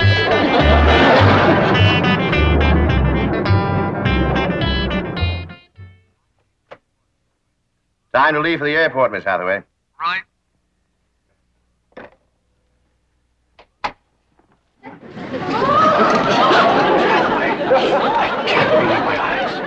Don't be alarmed, Chief. This is just for the Clampetts. I have no intention of disrupting office discipline with my seductive appearance. What a remarkable change. Three hours in the beauty salon. Tell me, are you busy tonight? Oh! because if you're not, I'd like you to work and make up those three hours.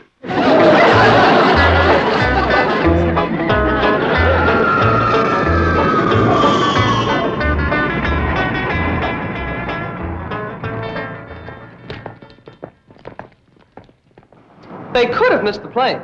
Oh, impossible. Brewster phoned me after he put him on board. Oh, miss, uh, are there any more passengers aboard? Yes, there are uh, six.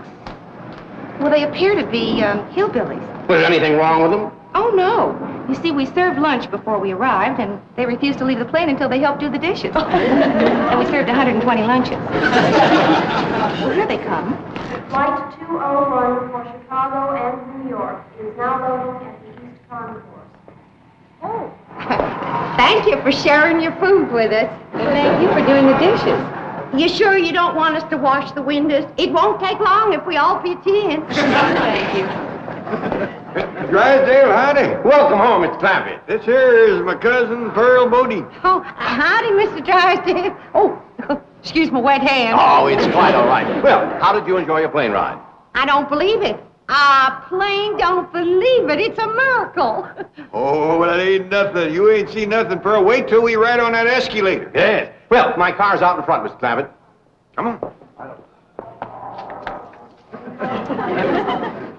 Mon amour.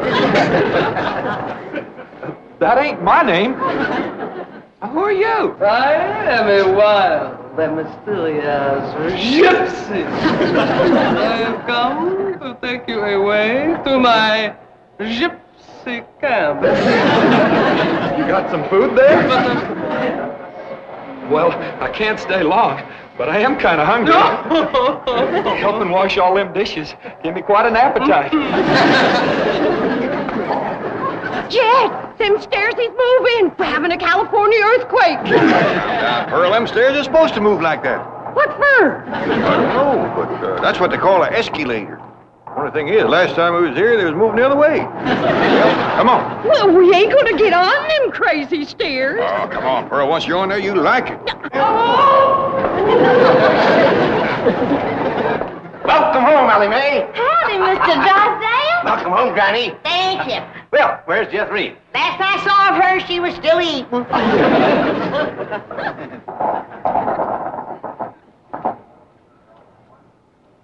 Well, now, that wasn't bad, was it? No, it was fun. Let's go up and ride down again. Oh, no, Pearl. Uh, it's fun, all right, but it just ain't worth fighting your way back upstream.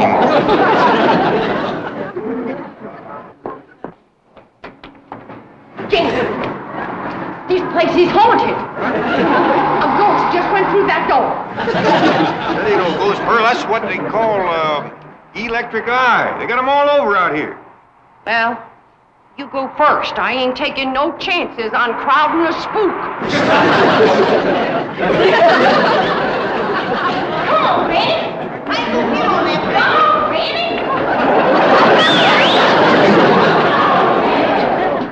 oh, howdy there.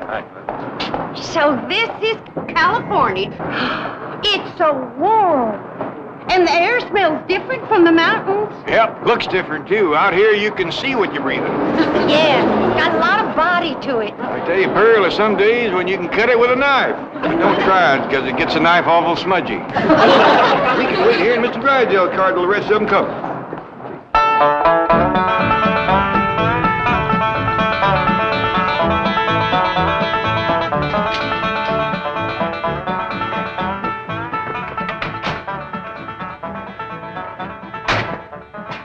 I'll go with Martin and take the luggage around to the servants' entrance. I can't believe it. I've seen pictures, but I just can't believe it. It ain't real. It's real, Ma.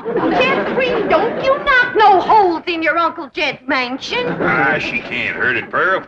Wait till you see inside, Pearl. It's the biggest bunch of indoors you ever did see.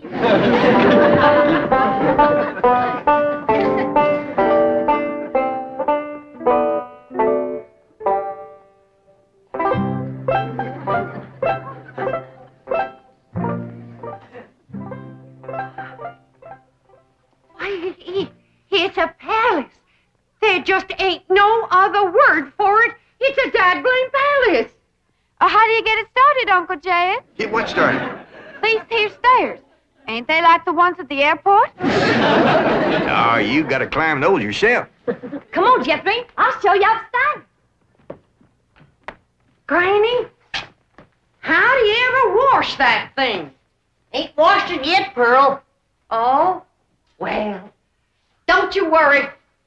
I'll do it. Pearl, uh, uh, now this here is what they call the drawing room. Drawing? Wait till you see this piano. The whole thing is hand painted. Yeah, Pearl. Ain't that just about the prettiest piano you ever did see? It's got pictures on it.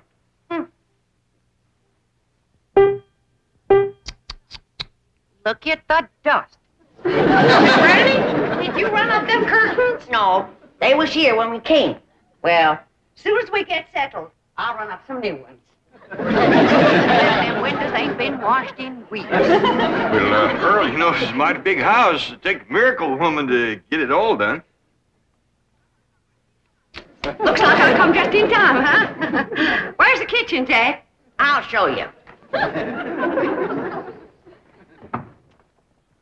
Thirty-two rooms in this house, and something tells me it ain't gonna be big enough.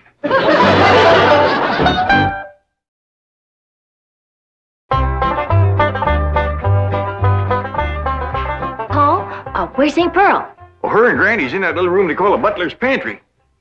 This is a nice enough kitchen, Granny, but it sure ain't as big as you led me to believe. Pearl, this ain't the one with the stove. The stove is... Oh. this here's the barest cupboard I ever did see, but I reckon if you ain't got a stove, you don't need food. This room... Well, Pearl, what do you think? Well, I think I should have brought my coal oil stove. For your information, Miss Pearl, we got gas. Well, I don't wonder.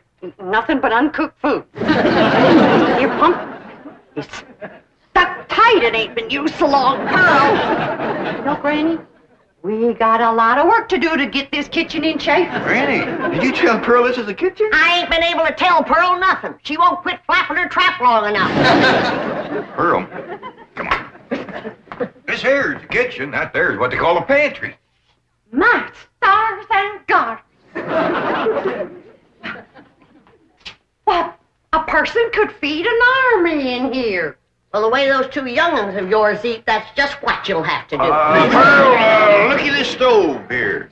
All you have to do to get fire is uh, turn one of them little things right here without lighting no matches nor nothing. Now look at here. This here lights this in here. And this one uh, lights this one.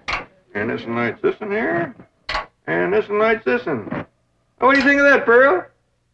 I declare, I'm just speechless.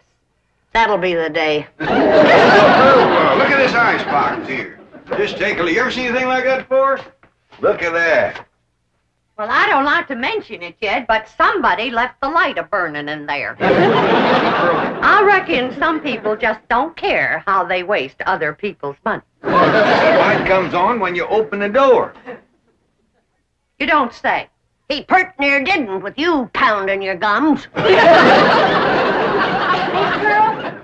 hey, Pearl. Jeffrey wants to know where's the suitcases, especially the big one with the sandwiches in it. But Jethro said he'd bring in the suitcases. Jethro. What happened to my boy? Where's Jethro?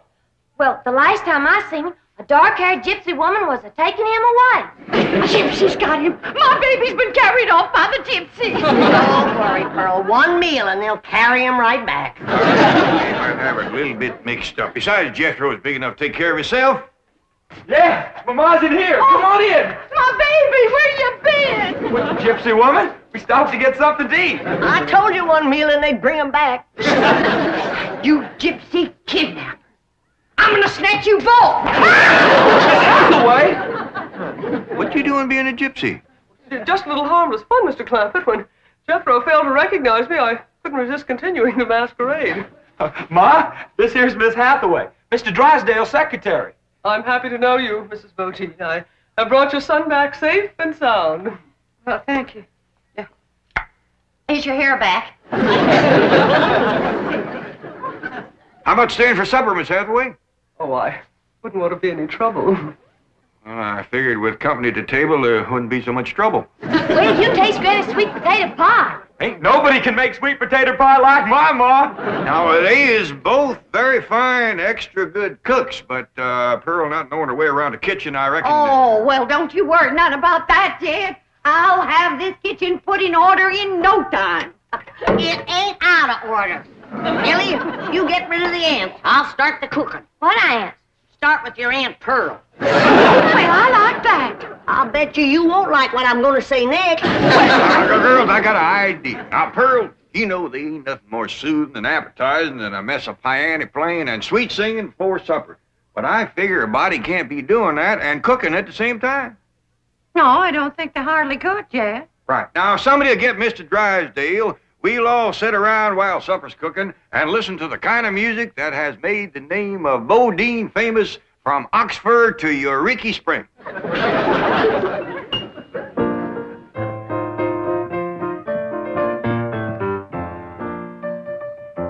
Pa, it's pretty near supper time. Want me to start setting the table? Yeah. And let's use that big company table in the fancy eating room. Okay, Paul. Uh, you help me get the chairs around it? Why, sure.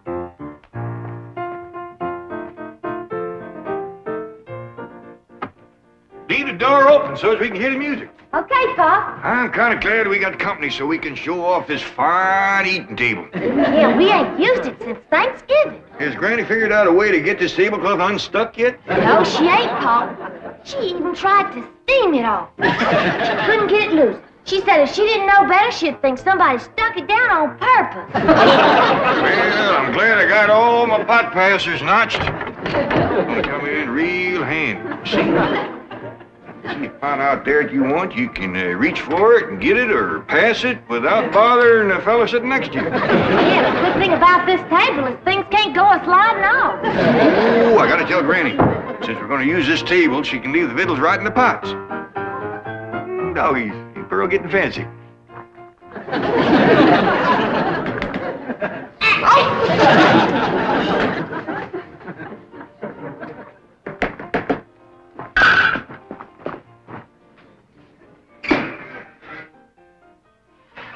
Ever see anybody bake a fluffier pie than that one? Hmm. Some folks don't know that cakes is fluffy and pies is juicy.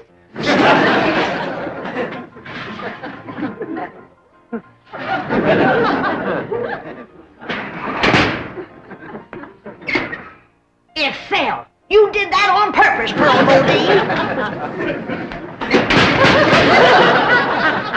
My pie can't fall. It can't, huh? You did.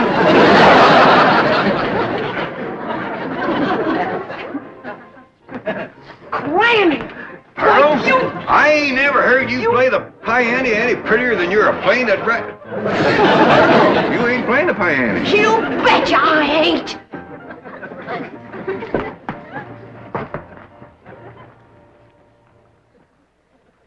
Before the battle,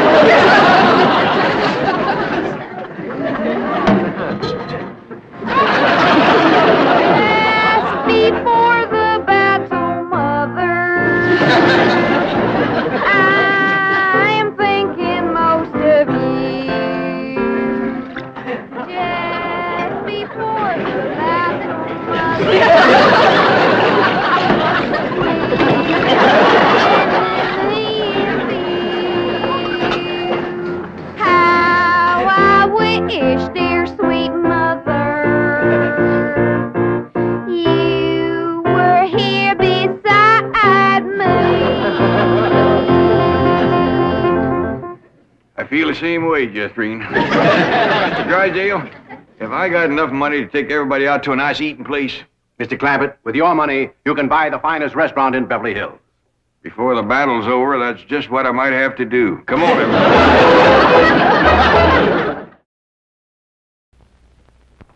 Sit down to the piano, Jethrine, and play us some nice, pretty after-supper music. All right, Uncle Jed. Have a Winston, Mr. Clampett? Well, doggies, it's putting Winston in gold packages now. What does that D stand for? Delicious? No, Drysdale.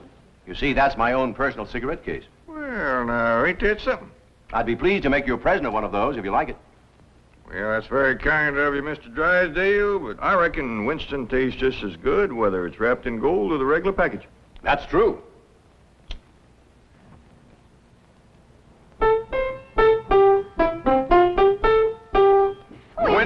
Tastes good like a cigarette should.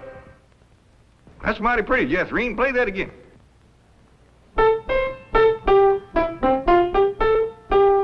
Oh, Winston tastes good like a cigarette should.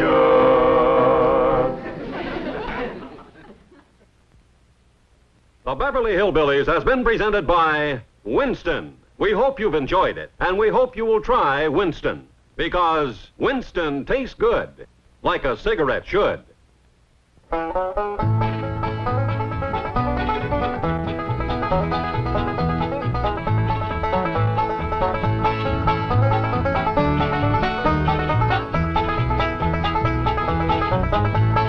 now it's time to say goodbye to Jed and all his kin.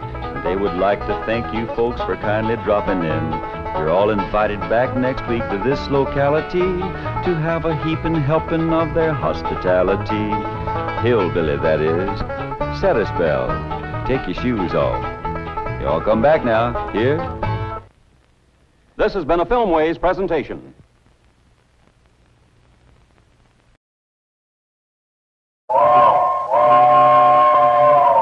Come ride the little train that is rolling down the tracks to the junction. Forget about your cares, it is time to relax at the junction. Lots of curves, you bet, and even more when you get to the junction. Petticoat Junction. There's a little hotel called the Shady Rest at the junction. Petticoat Junction. It is run by Kate. Come and be her guest at the junction. Petticoat Junction. And that's Uncle Joe. He's a moving kind of slow at the junction. Petticoat Junction.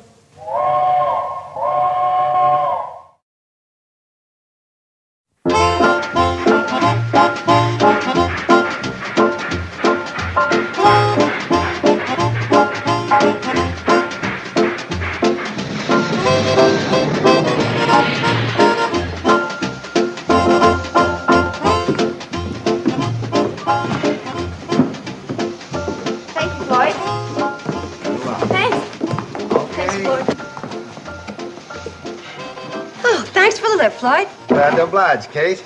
Pick you up as soon as we turn around, Kate. Oh, that'll be fine, Charlie. Make it exactly 20 minutes to maybe an hour from now. Oh, uh, right on the dot. Anywhere in there. So long, Kate. See you later. Bye, Floyd. See you later. Bye-bye, Floyd.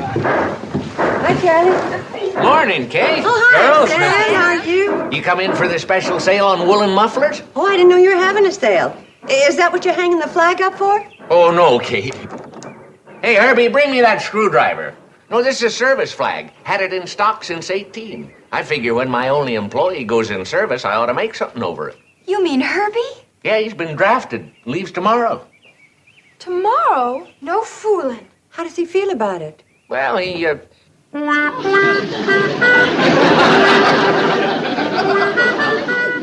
That answer your question? I've seen half-starved hound dogs look happier than that. Yeah, Herby's all heart. Yeah, but he's not the kind to want to shirk his duty. Oh, of course not. He's upset over leaving his hometown. He thinks nobody cares. But that's not true. Of course it isn't. It could be Herby's got a point. Not too many people even know he's here. Yeah, I know what you mean. For a boy six feet tall, he sure throws a mighty short shadow. Yeah, Not enough shade for a hot frog. Poor boy. You're the one he's really going to hate to say goodbye to, Billie Jo. You know how he feels about you. Well, sure, but what Come am I gonna girls, let's go inside and cheer up Herby. Especially you, Billie Jo. Herby, congratulations. We just heard the news. What happened? The draft board changed its mind? I I mean, congratulations about being called into service. Oh. Well, everyone in Hooterville's sorry to see you go, Herby. But we're sure proud of you.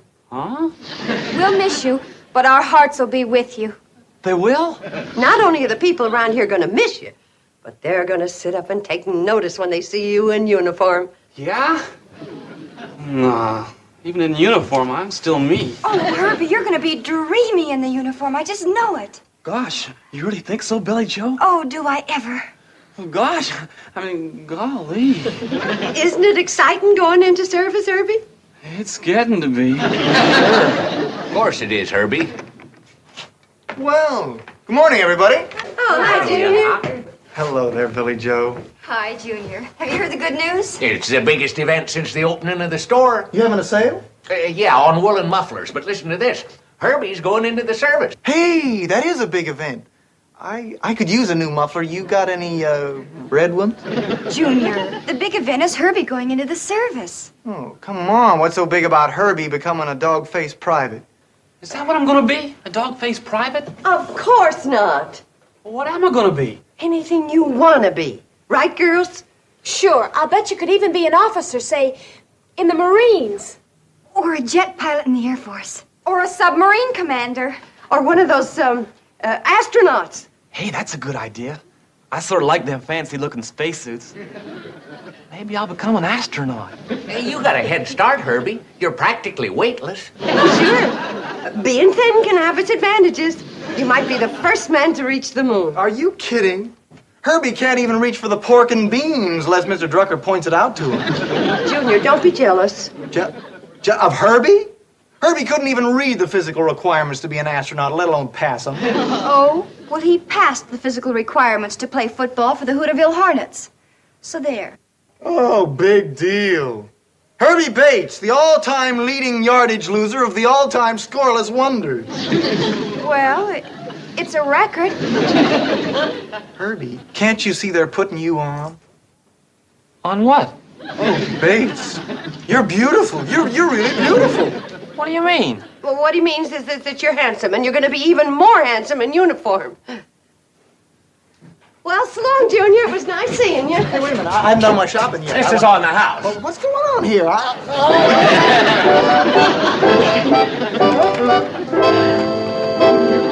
Hi,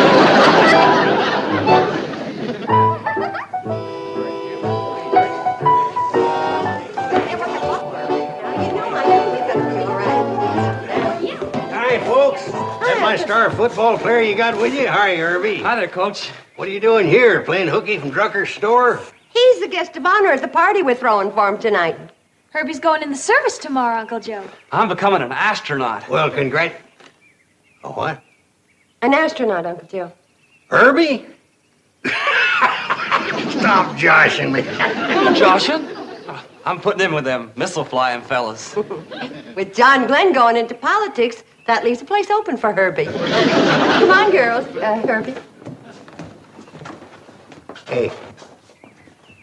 Herby going to be an astronaut's laughable.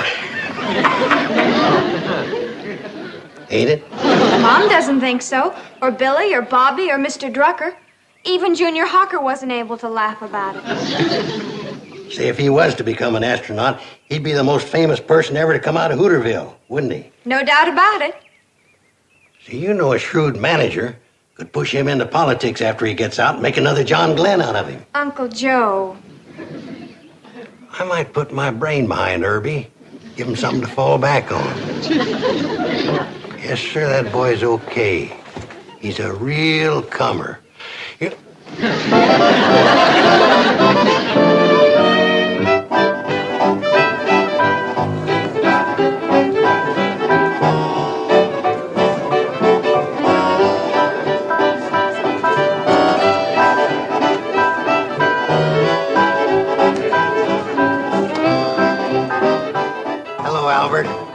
Welcome to Shady Ranch. Boyd. Uh, hello, you old time burner. Good night, huh? Sam, how's everything at Hooterville? Hey, what are you doing here, party smasher? Uh, I heard Miss Bradley say everybody was welcome. Well, that don't include you, wise guy. Relax, Herby. You'll have Billie Jo all to yourself. Oh, will? Sure. Whenever she's not busy dancing with me. Hey, that ain't fair. Listen, you stay away from Billie Jo. This is my last night with her. Hey, I- want to come get some punch with me, Herby? No, not now, Billie. Herby and me want to have a talk about his future. Come on. I'll get some with you, Billie Jo. But I, wait a minute. I'd like to get some punch with you. Ain't that great, Herby? I know. I made it myself. I don't care. I'm gonna get me some with Billie Jo. I knew a fellow once that felt the same way about cider. Good or bad, he couldn't leave his stuff alone. For a fact, for a fact, Billie Jo. Oh, Junior, that's cute. I don't think anything a slacker says is particular cute. Don't talk stupid, Bates. Junior's not a slacker, Herby. I don't see him offering his services to his country. I'm deferred till I get out of college. Then I'm going into officers' training school. See? He admits it. He's gonna stay home and become a policeman. I'm becoming an officer in the army, you dope. Oh, that kind. Boys, if we're going to argue, I'm going to have to break this up. Herby, maybe you and I better go for a walk. Uh, no, no, we won't argue anymore. Oh, yes, we will. Now, let's walk.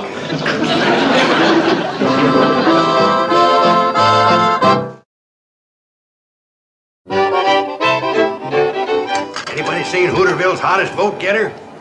Hooterville's who? You know, Mom. Uncle Joe's political protege, Herby Bates. He's the John Glenn of our town, otherwise known as Orbitin' Herby Bates. Uncle Joe, why don't you stop bothering that boy? He'd like to spend a little time alone with Billie. Tonight's our only chance to map out his political career. It's also his only chance to say goodbye to Billie. He ain't got no time to waste on girls. He's saving all his sweet talk for the voters and his kisses for their babies. Well, there goes the last of the big time political bosses. I may be going real far away, Billie Jo. I know. Oh, but all right, T, I promise. You won't be running around with that slacker Junior Hawker all the time, will you? Oh, not all the time. I promise. Do you want to seal it with a kiss? Do you? Golly, do I ever?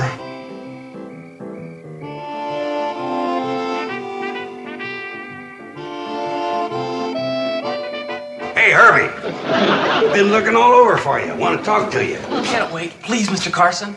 You can see him later, Uncle Joe. Nope, I gotta see him tonight. Uh, Billie Jo, why don't you go in and join the guests while Herby and me discuss his destiny? Well, if I can't sit here quiet and peaceful, I want to dance. Me too. Wait a minute, son. You gotta start thinking of your future. That's what I'm thinking about. As soon as Billie goes inside, Junior's gonna glom onto her. Hold on, son. If you want to get someplace with Billie, you ain't gonna do it dancing. Oh, you, you see me dance, huh? That's not what I mean. Relax and rock for a minute. I'll tell you how you can win over everybody in these parts, including Billie Jo. You mean it? It's a cinch.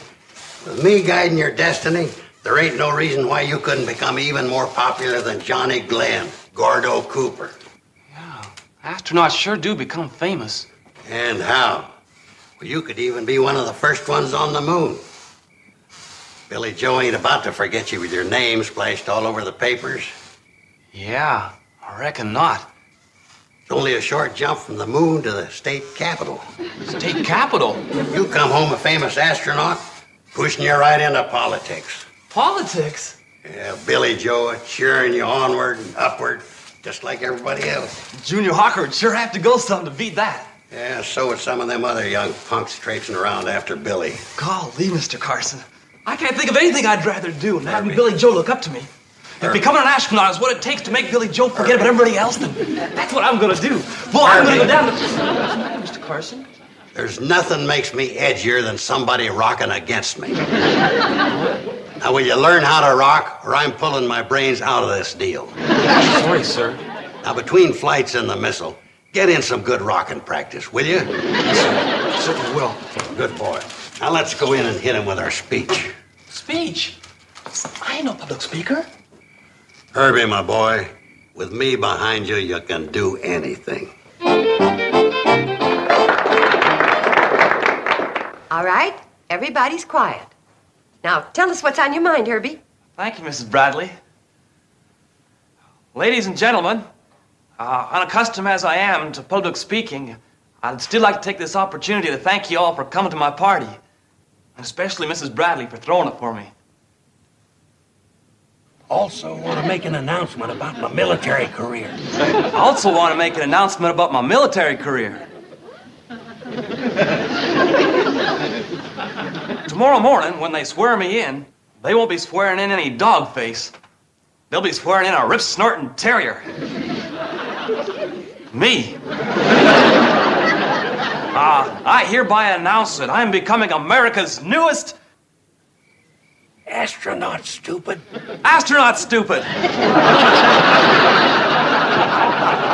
No, no, just plain astronaut.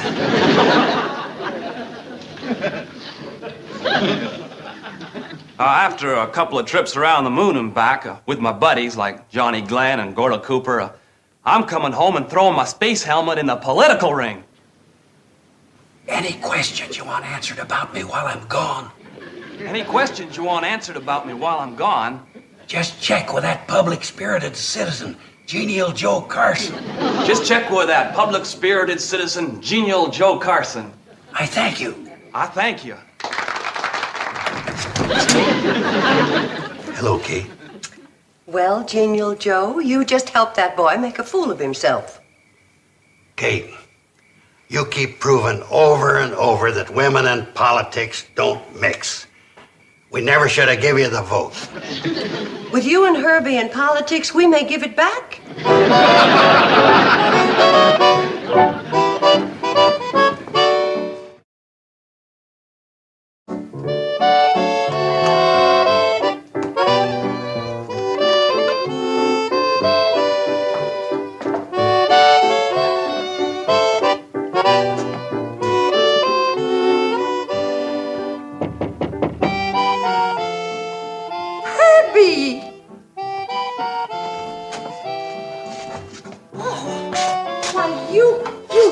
You've been scrapping with a grizzly. I just walked all the way back from the army camp, 40 miles through brush so no one would see me. Well, sit down before you faint and fall in it. Is anybody around here? Everybody's asleep, except Billie Jo. She's writing you another letter. But what happened? Well, after six days in the service, they up and kicked me out. Why? Well, it seems like I got what they call a trick knee. They said it probably came from playing football. And they said I also got a bad back, also probably from playing football. Anyway, after pretty near a week of tests and x rays, they decided to give me a medical discharge. Oh, that's a shame, Herby. But you've always got your job at Drucker's to go back to. Oh, I ain't going back there, Mrs. Bradley. After me popping off the way I did before I left, I ain't ever going to be able to face anybody again. Especially Billie Jo. Boy, I sure made a fool of myself. With some strong assistance from Genial Joe. Will you hide me here till morning? Of course, Herby, but why? Then I'll would- disappear. I'll take off for some foreign place like the Casbah or Cleveland or somewhere. Now, stop talking silly. If you're bent on hiding, I'll stash you in the attic till we can figure out some way of bringing you back from the service proper like. then you won't tell Billie Jo what a flop I am?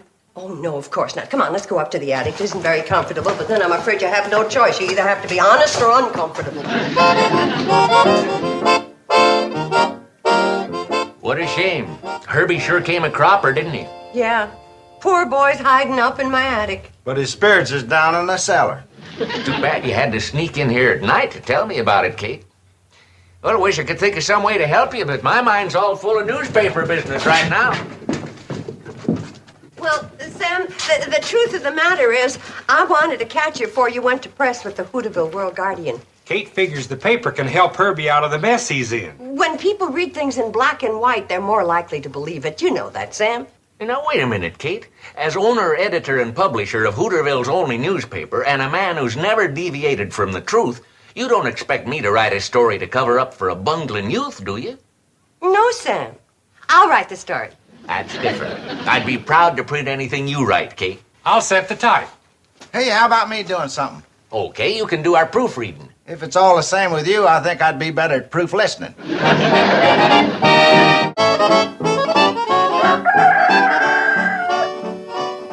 have the strategy I got planned for Herby. It won't be long till he's way up there. Your strategy already has him way up there. Well, he ain't an astronaut yet. He's got to go through a period of training first. Earl, your mother's a fine woman, but her understanding of military service and politics is pathetic. Extra, extra. Read all about it. Local hero returns. Well, What's all the excitement, Charlie? Herby's coming home. No. Yeah, for a fact. Well, look, everybody. Our Herby returns. Herby Bates, the popular young Hooterville resident who recently applied for duty in the armed services as an astronaut, received a medical discharge and is returning to Hooterville. The cause of his injury is not disclosed due to the classified nature of his assignment.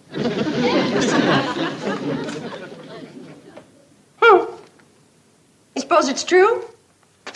What do you mean, you suppose? There it is in black and white. Well, yes, I know, but sometimes Kate. newspaper. Now, there's another thing you're proving you don't know anything about the newspaper game. Well, I guess you're right, Uncle Joe. It says here he'll be home tomorrow. Why don't we arrange for a homecoming celebration for him? Oh, good idea. Oh, that's a good idea, Charlie. Say, I'll make a banner for the side of the train. Hero special or something. Uncle Joe, don't ruin another one of my good sheets by painting on it. Yeah, but Kate, Well, okay. This time it's worth it. I wonder how bad Herby was hurt. well, I don't know, but a great career was nipped in the bud. Oh, my poor Herby. There goes the governor's seat right down the drain. Hi, Mrs. Bradley. Hi. Boy, your room sure is a lot nicer than the attic. Thanks. Now, the next stage is to get you down and sneak you onto that train when it pulls in. I'm going to get out of these jeans and into a nice dress for Herby's homecoming. Okay. I'm going to take my bath now. There's going to be more eyes in that hallway than in a sack of potatoes.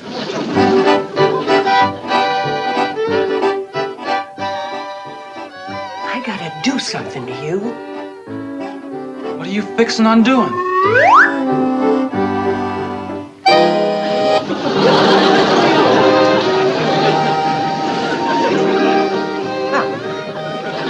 With Bobbie's dress and Billie's coat and Betty Jo's wig from the school play and my fur piece, we might get away with it. Come on. Oh, who's that? Herby, it's you. Hey, ain't a bad looker, huh? Come on, gorgeous.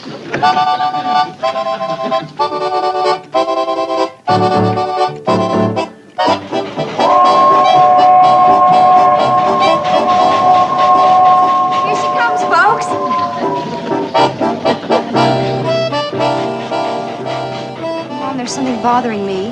What's that, dear? Well, that girl over there, do you know who she is? Oh, probably a friend of Herby's. Well, I don't like her. Now, why do you say that? For one thing, she's got a coat on, just like my new one.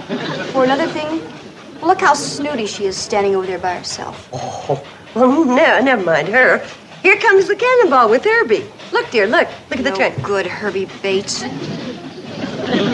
What, what?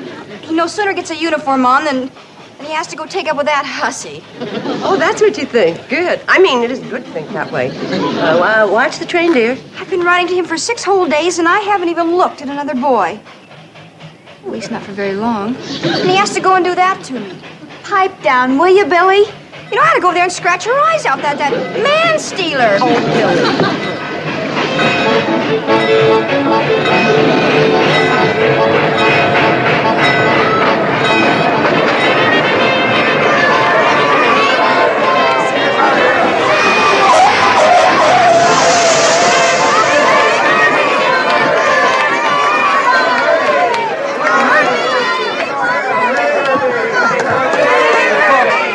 Folks, could I have your attention, please? This is the moment uh, we've all been waiting for. The triumphant return of our own Herby Bates. We take this opportunity to welcome him home from a short but distinguished career in the military service.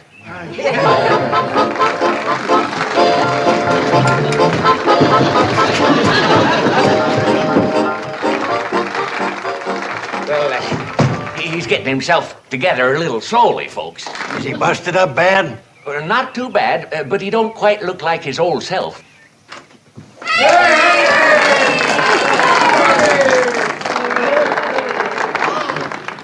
Look at his lips. There's lipstick all over him. Oh, that hussy, she sneaked on the train and she kissed him. Where is she? I'm gonna kill her. For heaven's sakes, quiet down, Scarlett O'Hara. Thank you, folks. I'm glad to be home, and I'm fixing to go back to work at Mr. Drucker's store real soon.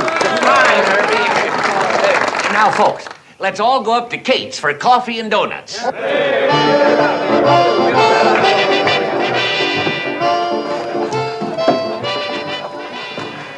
Oh, Herby. My wonderful darling Herby. What? Oh, Promise me you'll never look at that hussy again. Here, let me wipe her lipstick off of you. What? There, that's better. Now, here's some of mine. Golly, Billie Jo. Oh, golly. That. Well, the nerve of that hussy. She even wears my shade of lipstick. Golly. Come on, I'm not letting you out of my sight.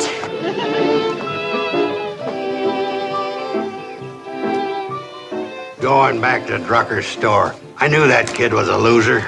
Doesn't look like one right now to me. Hey, Junior, you ever give any thought to using a military career as a springboard into politics? I'm not interested in politics, Mr. Carson. Kate, you're looking at a frustrated man with a great brain and no way of making it pay off. Yes, Uncle Joe. Stuck out here in the middle of nowhere with nothing but losers. Yes, Uncle Joe. Ain't it a cotton picking shame?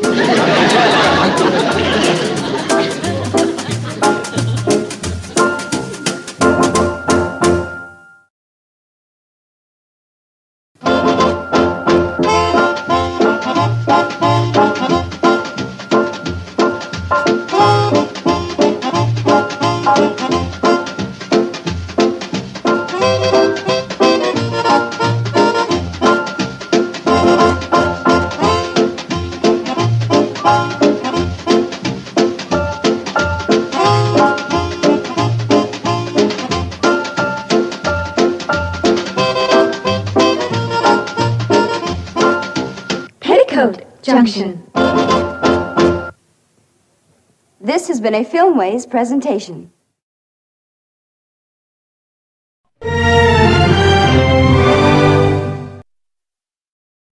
Come and listen to my story about a man named Jed. A poor mountaineer barely kept his family fed. And then one day he was shooting at some food, and up through the ground come a bubbling crude. Oil, that is, black gold, Texas tea. Well, the first thing you know, old Jed's a millionaire. The kinfolk said, Jed, move away from there. Said, California is the place you ought to be. So they loaded up the truck and they moved to Beverly Hills, that is, swimming pools, movie stars. The Beverly Hillbillies.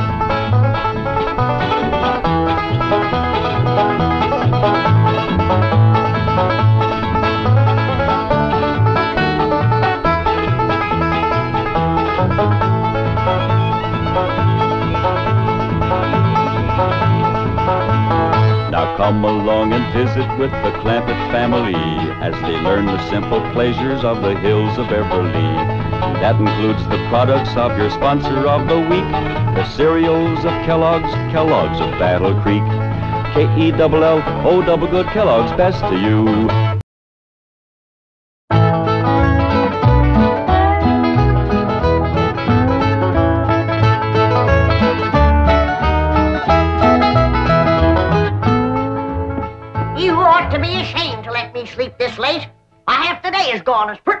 put near up. Land sakes alive, I ain't stayed abed this late in 72 years.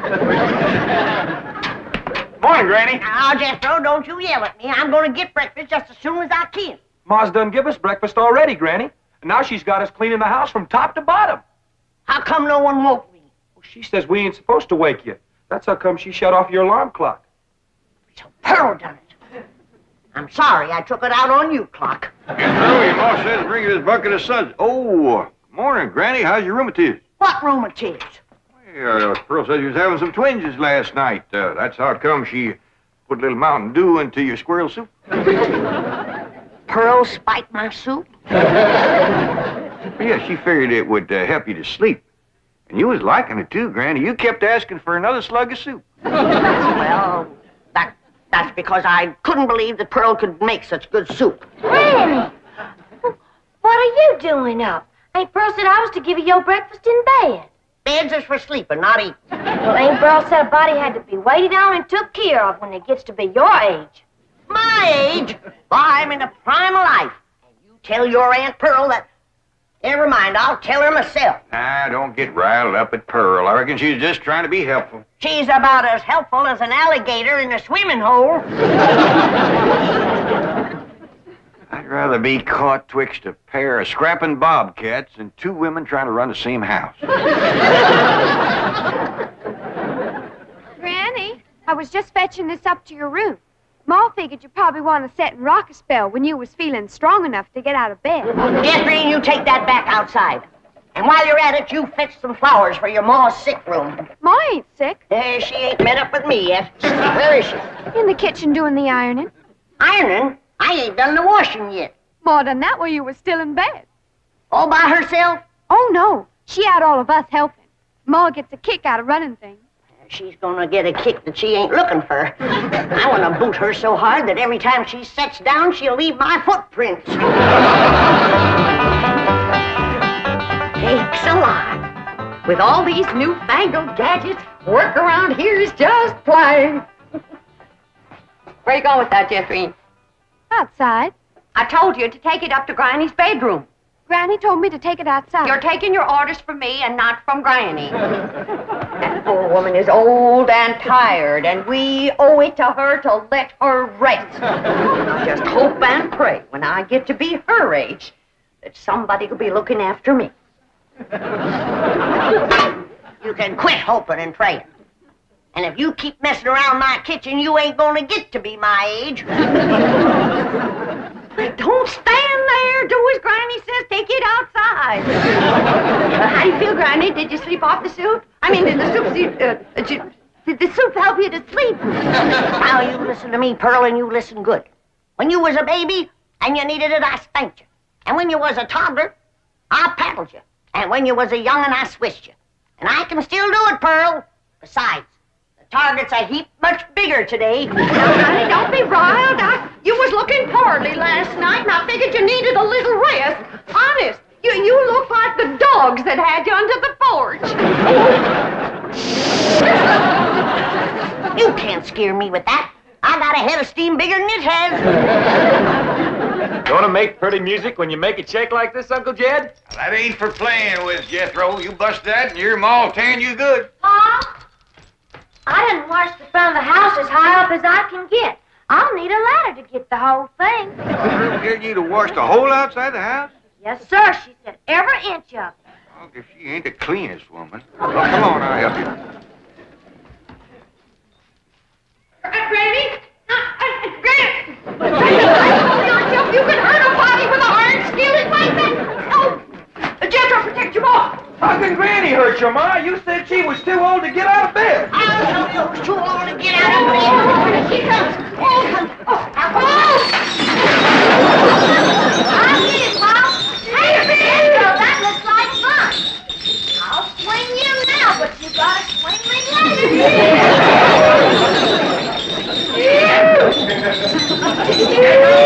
See, that was for playing on. Knock you down from there. Come on.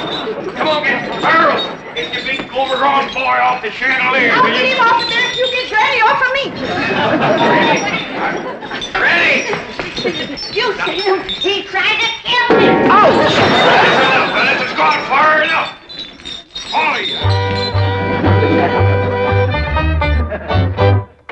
Now, Jethro's gone to fetch the truck around, and we's all going for a nice long drive and cool off some of the tempers in his family. Ain't Pearl? Ain't Cousin Jethrine coming? Oh, no, honey. She, she wants to practice her singing. She can go sightseeing another time. Listen ah.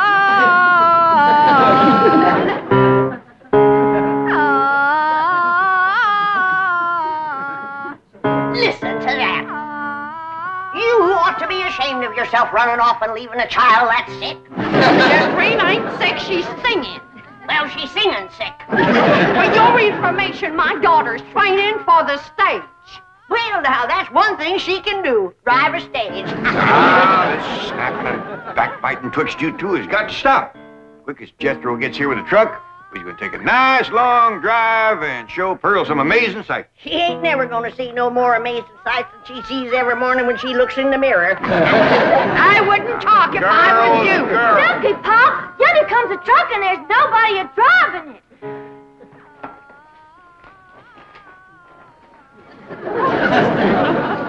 What's the trouble, Jethro? It's out of gas, Uncle Jed. They ain't even enough to get to the filling station. Yeah, I'll tell you what, uh, Elly, you run the house and get Granny's jug. The big one. Ooh, don't tell me that child ain't sick. Nobody makes a noise like that on purpose. You're going to be sorry you said them things when Jethrine commences singing with a big orchestra like Rudy Vallee.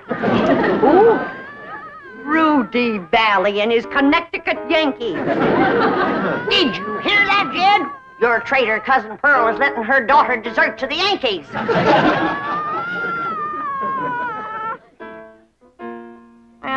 I reckon they're getting what they deserve. There you are, Pop. Thank you, Elly May.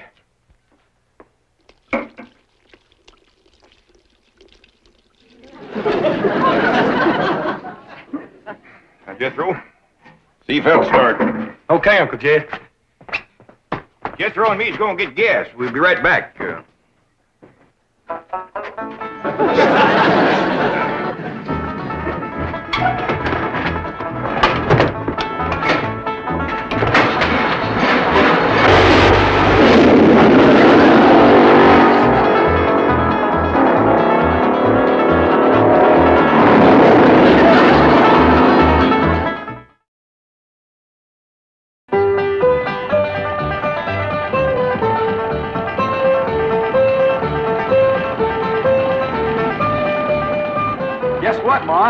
tell me at school there's lots of movie stars live on this street.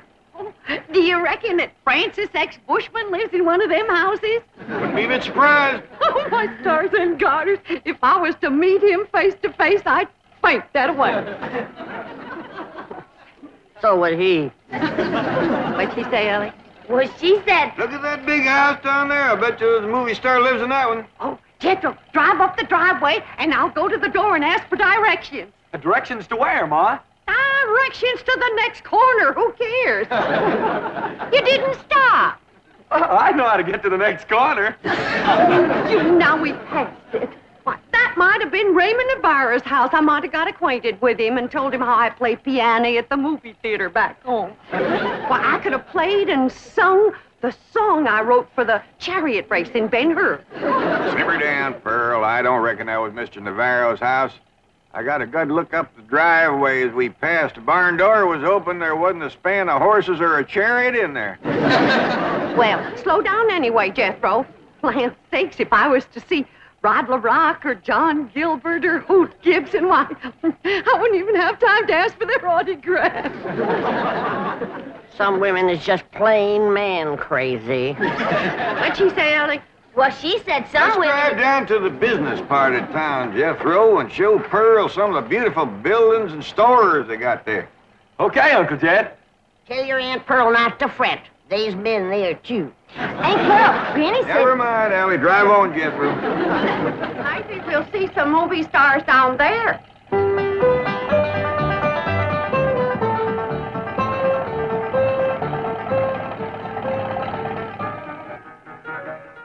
Come in, folks. The movie's about to begin. By the way, the wax figures out front are by courtesy of the Beverly Hills Movie Museum. Ducky, ain't Pearl? There's the movie picture theater up yonder. Yeah. I wonder if they need a right good first class piano player. Why, do you know one? Now, I have taken Say, all my- Pearl, ain't them movie stars out in front of that theater? Stop 'em, my Jethro.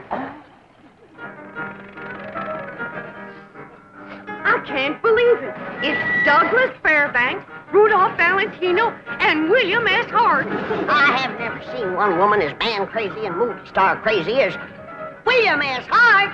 Let me off of here. Yes, Pearl, drive on before we embarrass them poor fellers. Bill, honey, you're my hero. Yoo-hoo, yoo-hoo, bang, bang.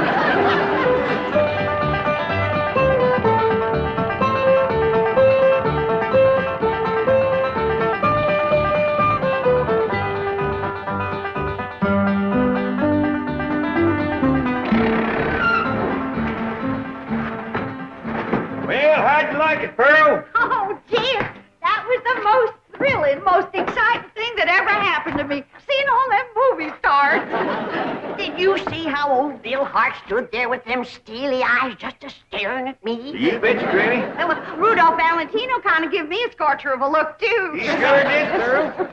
How about them green drawers that Mr. Fairbanks was wearing? yeah, Jed, you ought to dye your drawers that color.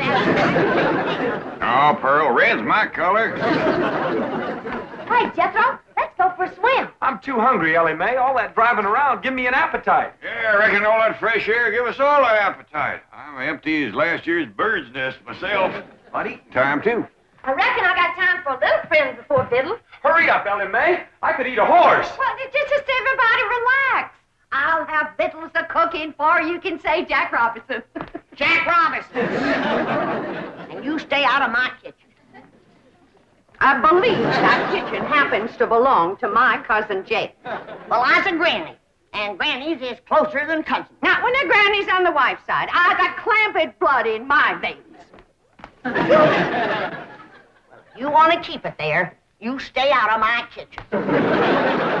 Hey, Uncle Jed, come on back. There's gonna be a fight. Oh, I don't fight nobody twice my age. There ain't nobody twice your age. I happen to be on the sunny side of 45. Well, then move into the shade. You're drying up something awful. Now, hold on, hold Who's closer related to you, Jed? Her or me? I is, 'cause I's a granny. You're a mother-in-law. I'm blood cousin. You're gonna be. Oh, no, I reckon you're both just as close related to me as folks can be, 'cause I love you both equal. And it'd pleasure me if you'd shake hands. And come out fighting. Come on now, shake hands. Granny, you start it off. Come on. Now, shake hands. Come on, Granny, shake hands with Pearl. Hey, I now, uh, Granny, say something nice to Pearl. Go on, say something nice. Pearl? I never did see anything prettier than the weather is today. Now, Granny, Well, that was friendly. well, say something nice and friendly uh, about Pearl. Don't force her, Jed. Ain't forcing her. She's just trying to think up something extra special nice. Now, ain't you, Granny? Yeah, and it ain't easy. See? Oh, Pearl. She's always bragging on you. How pretty you are. What a nice figure you got. I bragged on Pearl's figure. You sure did. You said Pearl got the kind of figure a man likes. Yeah. And then I said, too bad a man didn't get it instead of Pearl. I wouldn't talk if I had a figure as bony as you. Now, Pearl. You're built like a sack full of horseshoes. and you're built like a sack full of doorknobs. Now, let me tell you. something. Uncle Jed, you're breaking up a good fight. Yeah, Pearl, why don't you go out and help your sister Jethrine? What's she doing? I don't know. Find out what she's doing and go help her. Ah, you never let me have any fun. Now. Now, I'm asking you just as nice as I know how to stop all this backbiting and bickering. You're both fine-looking women. I'm proud to be kin to you. Why, if folks didn't know, they'd think you was Elly May's sisters. Oh, Elly, honey. Ah, why don't you take these two pretty girls swimming down to the cement pond? That ought to cool them off. In the dead of winter? Oh, the water stays warm all year round, ain't Pearl? Yeah, must be fed by some kind of hot mineral springs or something. Oh. Th- that ought to be mighty good for your rheumatiz, Granny. And I'll fix lunch while you're swimming. I told you to stay out of my kitchen. And I told you that... Now, that's enough. And I hear one more word spoke in anger out of either one of you, dogged if I ain't gonna take a switch to you. Ain't Pearl? Granny ain't too fond of swimming, but I'd be mighty proud if you'd go with me. Oh, that's a mighty sweet invite, Elly May. Pearl, did you bring some swimming clothes? Yeah, I did. Well, now, you run along, get into 'em. But I don't. Come on, put 'em on. Ah, doggies. I bet you Pearl in them swimming clothes has got the figure of a young girl. She better give it back before she stretches it out of shape anymore. I didn't say it in anger. I'm smiling.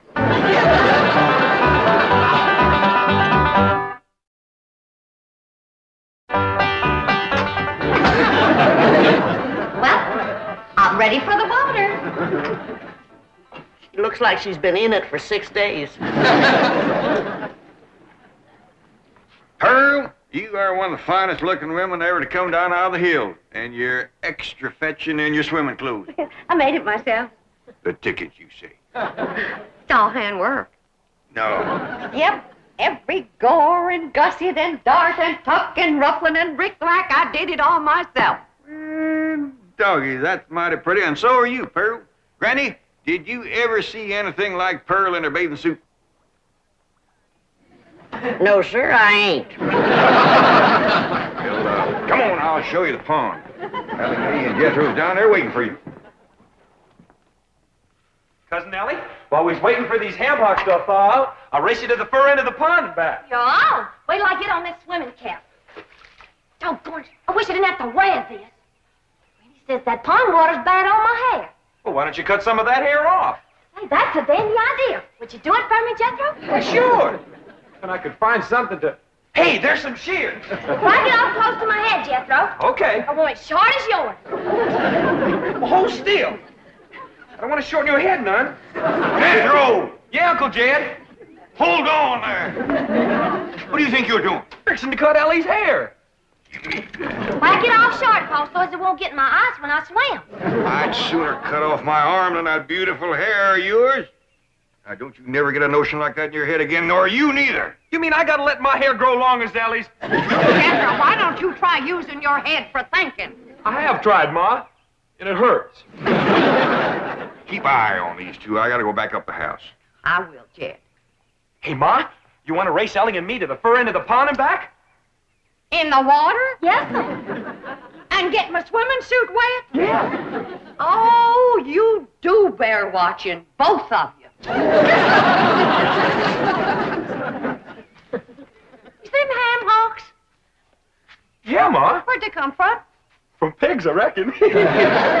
How did they get here? I took them out of the icebox. I was getting awful hungry. Was you gonna eat them raw? Of course not. Huh. I was going to keep my swimming trunks on. Elly May, Yeah, Pearl. what is this thing? It Looks like a stove on wheels. Well, that's what it is. It's called a portable barbecue. You just put a fire in there, then you lay the meat on this thing. All right. Elly May, you fetch some firewood. Jethro, you slice them ham hocks.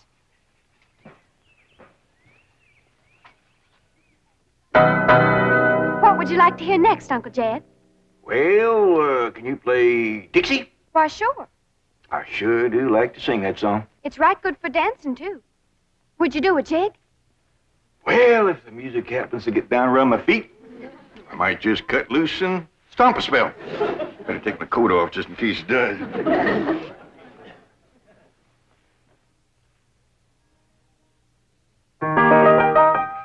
Oh, in the land of cotton.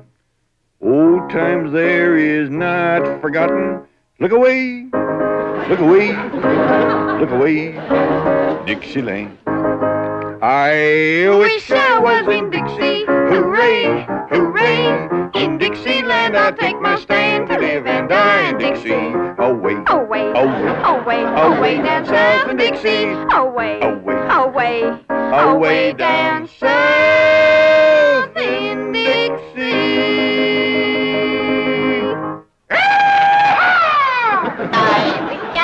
I wish I was stars in Dixie, away from Pearl. In Dixieland, I'll take my stand away from a cousin of Pearl.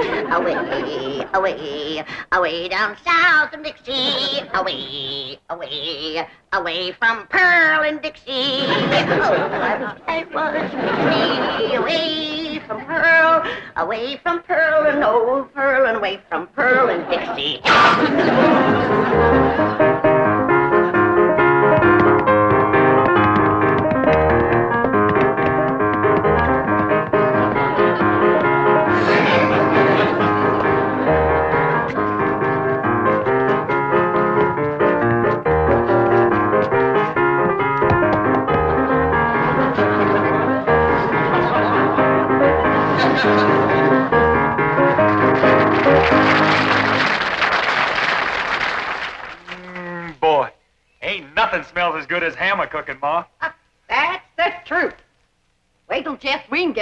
Of this. Ham is her favorite.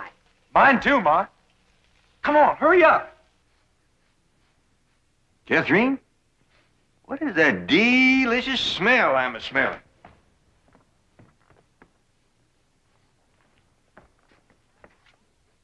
It smells like ham a cooking, Uncle Jed. Well, let's get on down to the cement pond, tell everybody we're going to have ham.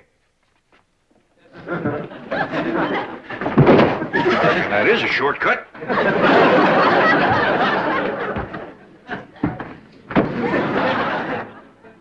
When the family tastes these riddles, they ain't never gonna let Pearl near the kitchen again.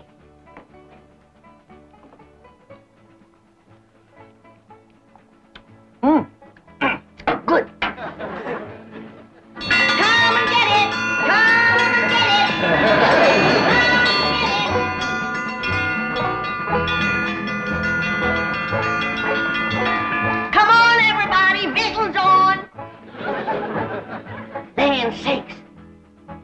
So hungry they can't get up.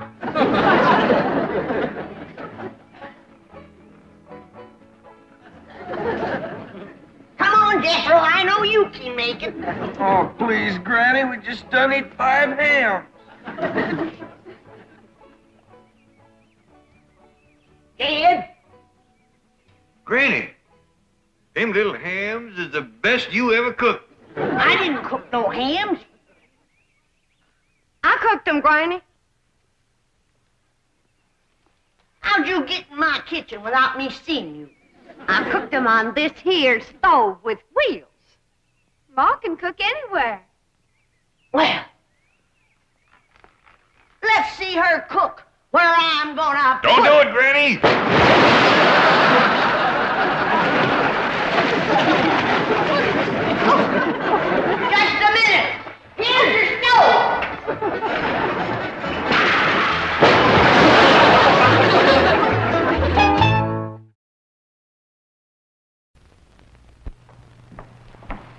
Elly?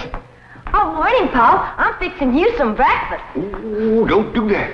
But, Paul, this here's Kellogg's cornflakes. Shh. You like the good corn taste of these here cornflakes? Yeah, but you mustn't give them to me. We already got two women in this house fighting over who's in charge of the food. We can't have three. Looks mighty good. Ain't nobody makes a better eating cereal than that there. Well, just this once. A Kellogg's good morning, the best to you each morning. K E double L O double good Kellogg's best to you. The Beverly Hillbillies has been presented by Kellogg's Corn Flakes.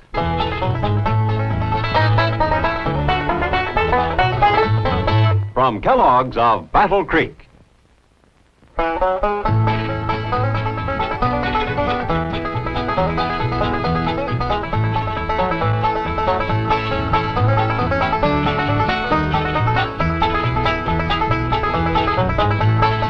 It's time to say goodbye to Jed and all his kin. They would like to thank you folks for kindly dropping in. You're all invited back next week to this locality to have a heaping helping of their hospitality. Hillbilly, that is. Set us bell. Take your shoes off. Y'all come back now. Here? This has been a Filmways presentation.